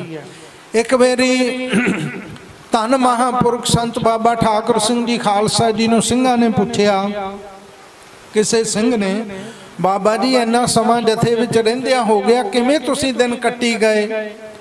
ਤੁਹਾਨੂੰ ਕਿਸੇ ਵੀ ਮਹਾਂਪੁਰਖ ਨੇ ਕੋਈ ਸ਼ਬਦ ਐਸਾ ਨਹੀਂ ਕਿਹਾ। ਤਾਂ ਬਾਬਾ ਜੀ ਨੇ ਇਹ ਪੰਕਤੀ ਪੜ੍ਹੀ ਗੁਰਬਾਣੀ ਵਿੱਚੋਂ। ਕਹਿਣ ਲੱਗੇ, ਜਿਉ ਸਾਹਿਬ ਨਾਲ ਨਾ ਹਾਰੀਐ, ਤੇ ਵੇਹਾ ਪਾਸਾ ਢਾਲੀਐ, ਕਿਛ ਲਾਹੇ ਉੱਪਰ ਘਾਲੀਐ। ਕਹਿੰਦੇ, ਆਪਣੇ, ਅਸੀਂ ਮਾਲਕਾਂ ਨਾਲ ਕਦੇ ਆਪਣੀ ਮਨਮਰਜ਼ੀ ਉਹਨਾਂ ਦੇ ਅੱਗੇ ਕੀਤੀ ਨਹੀਂ।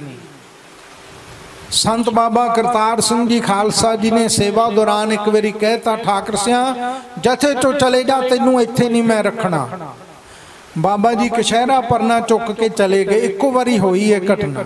ਆਪ ਦੱਸਦੇ ਹੁੰਦੇ ਸੀ ਬਾਬਾ ਜੀ, ਮੈਂ ਆਪ ਸੁਣਿਆ। ਜਿੱਥੇ ਬੰਬੀ ਹੈ, ਕਹਿੰਦੇ ਇੱਥੇ ਤੱਕ ਗਿਆ। ਮਨ ਵਿੱਚ ਖਿਆਲ ਆਇਆ ਕਿ ਹੰਸਾਂ ਦਾ ਮਾਨ ਸਰੋਵਰ ਠਾਕਰ ਸਿਆਂ ਛੱਡ ਕੇ ਤੁਰ ਚੱਲਿਆ, ਤੇਰੀ ਜ਼ਿੰਦਗੀ ਦਾ ਕੀ ਬਣੇਗਾ? ਦੇਖੋ, ਇੱਕ ਪੂਰਨ ਮਹਾਪੁਰਖ ਇਹ ਗੱਲ ਕਹਿ ਰਿਹਾ ਜਥੇਬੰਦੀ ਨੂੰ। ਕਹਿੰਦਾ, ਹੰਸਾਂ ਦਾ ਮਾਨ ਸਰੋਵਰ ਛੱਡ ਕੇ ਚੱਲਿਆ, ਠਾਕਰ ਸਿਆਂ ਤੇਰੀ ਜ਼ਿੰਦਗੀ ਦਾ ਕੀ ਬਣੇਗਾ? ਜਿਹੜੇ ਜਥੇ ਚੋਂ ਜਾਂਦੇ ਆ, ਉਹਨਾਂ ਦੀ ਕੀ ਹਾਲਤ ਹੋਏਗੀ? ਕਹਿੰਦੇ, ਹੰਸਾਂ ਦਾ ਮਾਨ ਸਰੋਵਰ ਛੱਡ ਕੇ ਚੱਲਿਆ ਮਾਨ ਸਰੋਵਰ ਤੇ ਹੰਸ ਹੀਰੇ ਮੋਤੀ ਚੁਗਦੇ ਆ। ਹੰਸਾਂ ਹੀਰਾ ਮੋਤੀ ਚੁਗਣਾ, ਬਗ ਡੱਡਾਂ ਭਾਲਣ ਜਾਵੇ। ਕਹਿੰਦੇ, ਇੰਨੀ ਗੱਲ ਹੀ ਮੈਂ ਸੋਚ ਰਿਹਾ ਸੀ। ਸੰਤਾਂ ਨੇ ਮਗਰੋਂ ਪੰਜ ਸਿੰਘ ਭੇਜੇ, ਕਹਿੰਦੇ, ਬਾਬਾ ਜੀ ਨੂੰ ਮੋੜ ਕੇ ਲਿਆ ਬਾਬਾ ਜੀ ਆਏ ਅੰਦਰ ਗੁਰਦੁਆਰਾ ਸਾਹਿਬ ਸੰਤ ਕਹਿੰਦੇ, ਬਾਬਾ ਜੀ, ਮੇਰੇ ਤੋਂ ਗਲਤੀ ਹੋ ਗਈ, ਮੈਨੂੰ ਮਾਫ ਕਰ ਦੇ ਬਾਬਾ ਜੀ ਕਹਿੰਦੇ, ਨਹੀਂ ਮਹਾਂਪੁਰਖੋ ਗਲਤੀ ਮੇਰੇ ਤੋਂ ਹੋਈ। ਮੈਂ ਤੁਹਾਡਾ ਬਚਨ ਨਹੀਂ ਮੰਨ ਸਕਿਆ। ਦੇਖੋ, ਸੰਤਾਂ ਨੇ ਕਹਿਤਾ, ਚਲੇ ਜਾਓ। ਕੋਈ ਗੁੱਸਾ ਨਹੀਂ, ਕੋਈ ਕ੍ਰੋਧ ਨਹੀਂ, ਕੋਈ ਮਹਾਂਪੁਰਖਾਂ ਦੇ ਉੱਤੇ ਰੋਸ ਨਹੀਂ।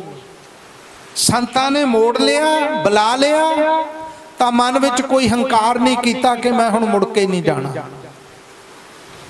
ਹੈ ਐਸੀ ਅਵਸਥਾ, ਇੰਨੀ ਨਿਮਰਤਾ। ਕਹਿੰਦੇ, ਮੈਂ ਸਾਰੀ ਜ਼ਿੰਦਗੀ ਸਤ ਪੁਰਸ਼ਾਂ ਦੀ ਆਗਿਆ ਵਿੱਚ ਰਿਹਾ। ਭਾਵੇਂ ਸੰਤ ਗਿਆਨੀ ਗੁਰਬਚਨ ਸਿੰਘ ਜੀ ਖਾਲਸਾ ਜੀ ਸਨ, ਭਾਵੇਂ ਸੰਤ ਗਿਆਨੀ ਕਰਤਾਰ ਸਿੰਘ ਜੀ ਖਾਲਸਾ ਜੀ ਸਨ, ਭਾਵੇਂ ਸੰਤ ਗਿਆਨੀ ਜਰਨੈਲ ਸਿੰਘ ਜੀ ਖਾਲਸਾ ਜੀ ਸਨ, ਕਹਿੰਦੇ ਮੈਂ ਤਿੰਨੇ ਮਹਾਪੁਰਖਾਂ ਨੂੰ ਇੱਕ ਰੂਪ ਕਰਕੇ ਵੇਖਿਆ।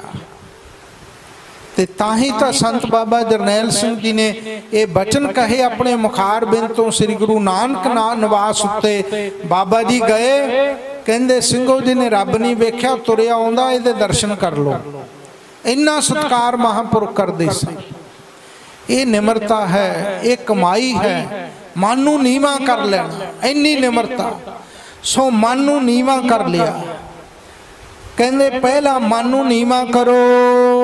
ਪਾਪ ਬੰਦ ਬ੍ਰਿਤ ਬ੍ਰਹਮ ਗਿਆਨ। ਬ੍ਰਹਮ ਗਿਆਨ ਵਾਲੀ ਬਿਰਤੀ ਦੁਆਰਾ ਮਨ ਨੂੰ ਬੰਨ ਪਾ ਲਓ ਮਨ ਨੂੰ ਰੋਕਣਾ ਕਿਵੇਂ ਹੈ? ਜਿਹੜੀ ਬਾਣੀ ਪੜ੍ਹਨੀ ਹੈ, ਬ੍ਰਹਮ ਗਿਆਨ ਦੀ ਬਿਰਤੀ ਦਾ ਬੰਦ ਹੈ। ਜਾਪ ਕਰਨਾ, ਸਿਮਰਨ ਕਰਨਾ, ਬੰਦਗੀ ਕਰਨੀ, ਭਗਤੀ ਕਰਨੀ ਹੈ ਬਿਰਤੀ ਨੂੰ ਬੰਨ ਪਾਉਣਾ, ਰੋਕਣਾ। ਮਾੜੇ ਪਾਸੇ ਜਾਣ ਤੋਂ ਇਹੀ ਬੰਨ ਪਾਉਣਾ ਨਾ। ਬ੍ਰਹਮ ਗਿਆਨ ਵਾਲੀਆਂ ਜਿਹੜੀਆਂ ਬਿਰਤੀਆਂ ਹਨ, ਜਿਨ੍ਹਾਂ ਨਾਲ ਬ੍ਰਹਮ ਗਿਆਨ ਪ੍ਰਾਪਤ ਹੁੰਦਾ ਭਉ ਭਗਤੀ ਗੁਰਬਾਣੀ ਦਾ ਅਭਿਆਸ। ਇਸ ਦੁਆਰਾ ਕਹਿੰਦੇ ਮਨ ਨੂੰ ਬੰਨ ਲਓ ਇਹਦੇ ਵਿੱਚ ਹੀ ਬੰਨ ਲਓ ਇਹਦੇ ਵਿੱਚ ਹੀ ਰੋਕ ਕੇ ਰੱਖੋ ਆਪਣੇ ਮਨ ਨੂੰ। ਸਤ ਸੰਤੋਖ ਆਦ ਗੁਣ ਧਰੇ। ਸਤ ਸੰਤੋਖ ਇਹ ਸ਼ੁਭ ਗੁਣ ਆਦਿਕ ਜਿਹੜੇ ਇਹਨਾਂ ਨੂੰ ਵੀ ਧਾਰਨ ਕਰੇ ਨਾਲ ਹੀ ਤੋਂ ਬਿਨਾ ਗੱਲ ਨਹੀਂ ਬਣਦੀ ਕਦੇ। ਬਿਨ ਗੁਣ ਕੀਤੇ ਭਗਤ ਨਾ ਹੋਏ। ਅਭਿਆਸੀ ਗੁਣ ਨਹੀਂ ਰੱਖੇਗਾ ਨਾ ਜੀਵਨ ਵਿੱਚ। ਤਾਂ ਉਹਦੀ ਭਗਤੀ ਉਹਦੀ ਸਾਧਨਾ ਫਲੀ ਭੂਤ ਨਹੀਂ ਹੁੰਦੀ ਕਦੇ। ਔਗਣ ਵੀ ਕਰੀ ਜਾਏ ਭਗਤੀ ਵੀ ਕਰੀ ਜਾਏ ਤਾਂ ਵਿਗਨ ਪੈ ਜਾਂਦਾ। ਇਸ ਕਰਕੇ ਸਤ ਸੰਤੋਖ ਆਦ ਗੁਣਾ ਨੂੰ ਵੀ ਧਾਰਨ ਕਰੇ। ਇਨ ਜਤਨੋਂ ਤੇ ਸੋ ਮੁਰ ਪਰੇ। ਕਹਿੰਦੇ ਇਹਨਾਂ ਯਤਨ ਇਹਨਾਂ ਸਾਧਨਾ ਦੇ ਨਾਲ ਮਨ ਮੁੜ ਪੈਂਦਾ ਹੈ ਗੁਰੂ ਵੱਲ ਨੂੰ ਪਰਮੇਸ਼ਰ ਵੱਲ ਨੂੰ। ਜਬ ਪ੍ਰਵਾਹਿਤ ਦਿਸ਼ ਕੋ ਭਇਓ। ਜਦੋਂ ਪ੍ਰਵਾਹ ਪੈ ਗਿਆ ਅੰਦਰ ਪ੍ਰਵਾਹ ਚੱਲ ਪਿਆ ਨਾਮ ਦਾ ਗੁਰੂ ਵੱਲ ਨੂੰ ਤੁਰ ਪਿਆ ਮਨ ਜੁੜ ਗਿਆ ਹੈ। ਅੰਦਰ ਸੁਤੇ ਪ੍ਰਵਾਹ ਚੱਲ ਪਿਆ ਬਾਣੀ ਦਾ ਸਿਮਰਨ ਦਾ ਅੰਦਰ ਸੋਮਾ ਵਗ ਟੁਰਿਆ ਬਹੁਰ ਉਪਾਏ ਨਾ ਕੁਛ ਰਹਿ ਗਇਓ। ਫੇਰ ਕੋਈ ਹੋਰ ਉਪਾਅ ਯਤਨ ਕਰਨਾ ਰਹਿ ਨਹੀਂ ਜਾਂਦਾ। ਹੋਰ ਸਾਧਨ ਕਰਨਾ ਪਿੱਛੇ ਬਾਕੀ ਨਹੀਂ ਬਚਦਾ। ਪ੍ਰਾਪਤ ਹੋਏ ਸੁਖੈਨ ਆਨੰਦ। ਸੁਖ ਦੇਣ ਵਾਲੀ ਜਿਹੜੀ ਆਨੰਦ ਰੂਪ ਅਵਸਥਾ ਹੈ ਨਾ ਉਹ ਗੁਰਸਿੱਖ ਨੂੰ ਪ੍ਰਾਪਤ ਹੋ ਜਾਂਦੀ ਹੈ। ਨਹੀਂ ਸੋ ਵਿਆਪੈ ਦੁਖ ਦਾ ਦੁੰਦ। ਜਿਹੜੀ ਦਵੈਤ ਹੈ ਦੁੱਖ ਦੇਣ ਵਾਲੀ ਹੈ ਗਿਆਨ ਹੈ ਇਹ ਕਦੇ ਨਹੀਂ ਵਿਆਹਦਾ ਕਦੇ ਨਹੀਂ ਮੁੜ ਕੇ ਆ ਕੇ ਚੰਬੜਦਾ ਨਹੀਂ ਲੱਗਦਾ।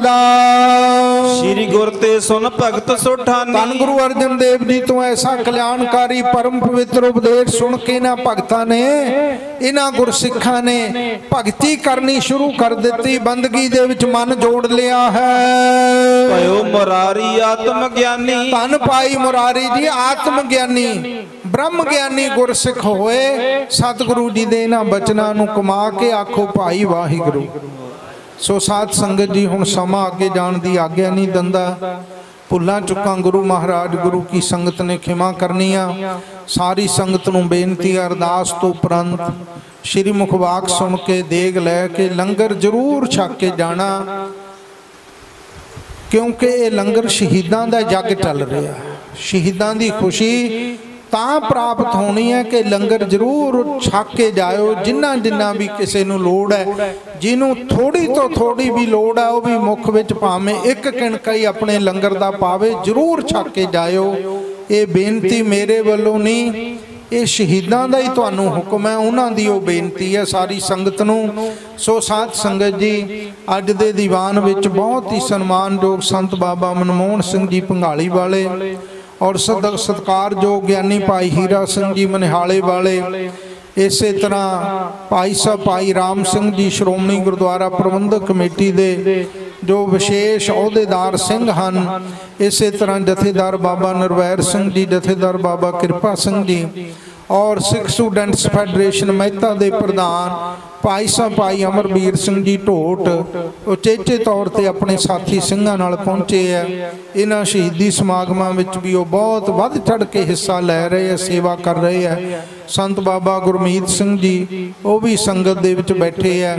ਸਾਰਿਆਂ ਦਾ ਭਾਈ ਬਹੁਤ ਬਹੁਤ ਧੰਨਵਾਦ। ਭੁੱਲਾਂ ਚੁੱਕਾਂ ਖਿਮਾ ਕਰਨੀਆਂ ਇਤਨੀ ਹਾਜ਼ਰੀ ਪ੍ਰਵਾਨ ਕਰਨੀ। ਸ੍ਰੀ ਗੁਰ ਤੇ ਸੁਨ ਭਗਤ ਸੋਠਾਨੀ ਭਇਓ ਮੁਰਾਰੀ ਆਤਮ ਗਿਆਨੀ। ਹੇ ਗੋਬਿੰਦ ਹੇ ਗੋਪਾਲ ਹੇ ਦਇਆਲ ਲਾਲ ਪ੍ਰਾਨਨਾਥ ਅਨਾਥ ਸਖੇ, ਦੀਨ ਦਰਦ ਨਿਵਾਰ। ਹੇ ਸਮਰੱਥ ਅਗਮ ਪੂਰਨ, ਮੋਹਿ ਮਇਆ ਧਾਰ। ਅੰਧਕੂਪ ਮਹਾ ਭਿਆਨ ਨਾਨਕ ਪਾਰ ਉਤਾਰ। ਹੇ ਅਚੁੱਤ, ਹੈ ਪਾਰ ਬ੍ਰਹਮ, ਅਬਨਾਸੀ ਅਗਨਾਸ।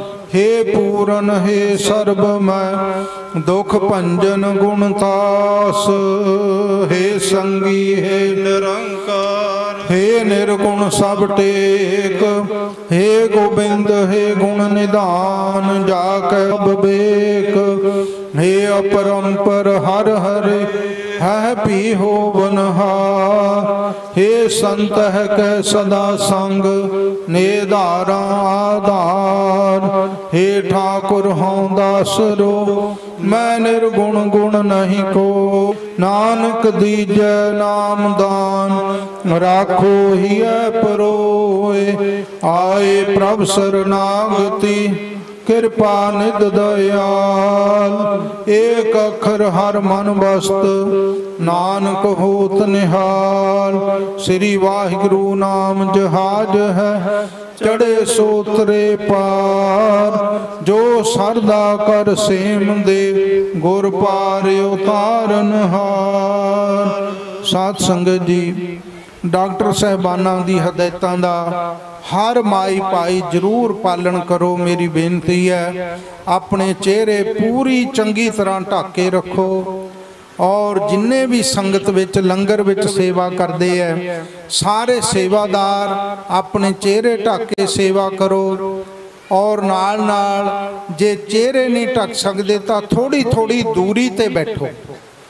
ਇਹ ਜ਼ਰੂਰੀ ਬੇਨਤੀਆਂ ਤੁਸੀਂ ਮੇਰੀਆਂ ਰੋਜ਼ਾਨੇ ਤੁਹਾਨੂੰ ਬੇਨਤੀਆਂ ਹੁੰਦੀਆਂ। ਇਹ ਜ਼ਰੂਰ ਪ੍ਰਵਾਨ ਕਰਨੀਆਂ। ਵਾਹਿਗੁਰੂ ਜੀ ਕਾ ਖਾਲਸਾ, ਵਾਹਿਗੁਰੂ ਜੀ ਕੀ ਫਤਿਹ। ਤੂੰ ਠਾਕੁਰ, ਤੁਮ ਪਹਿ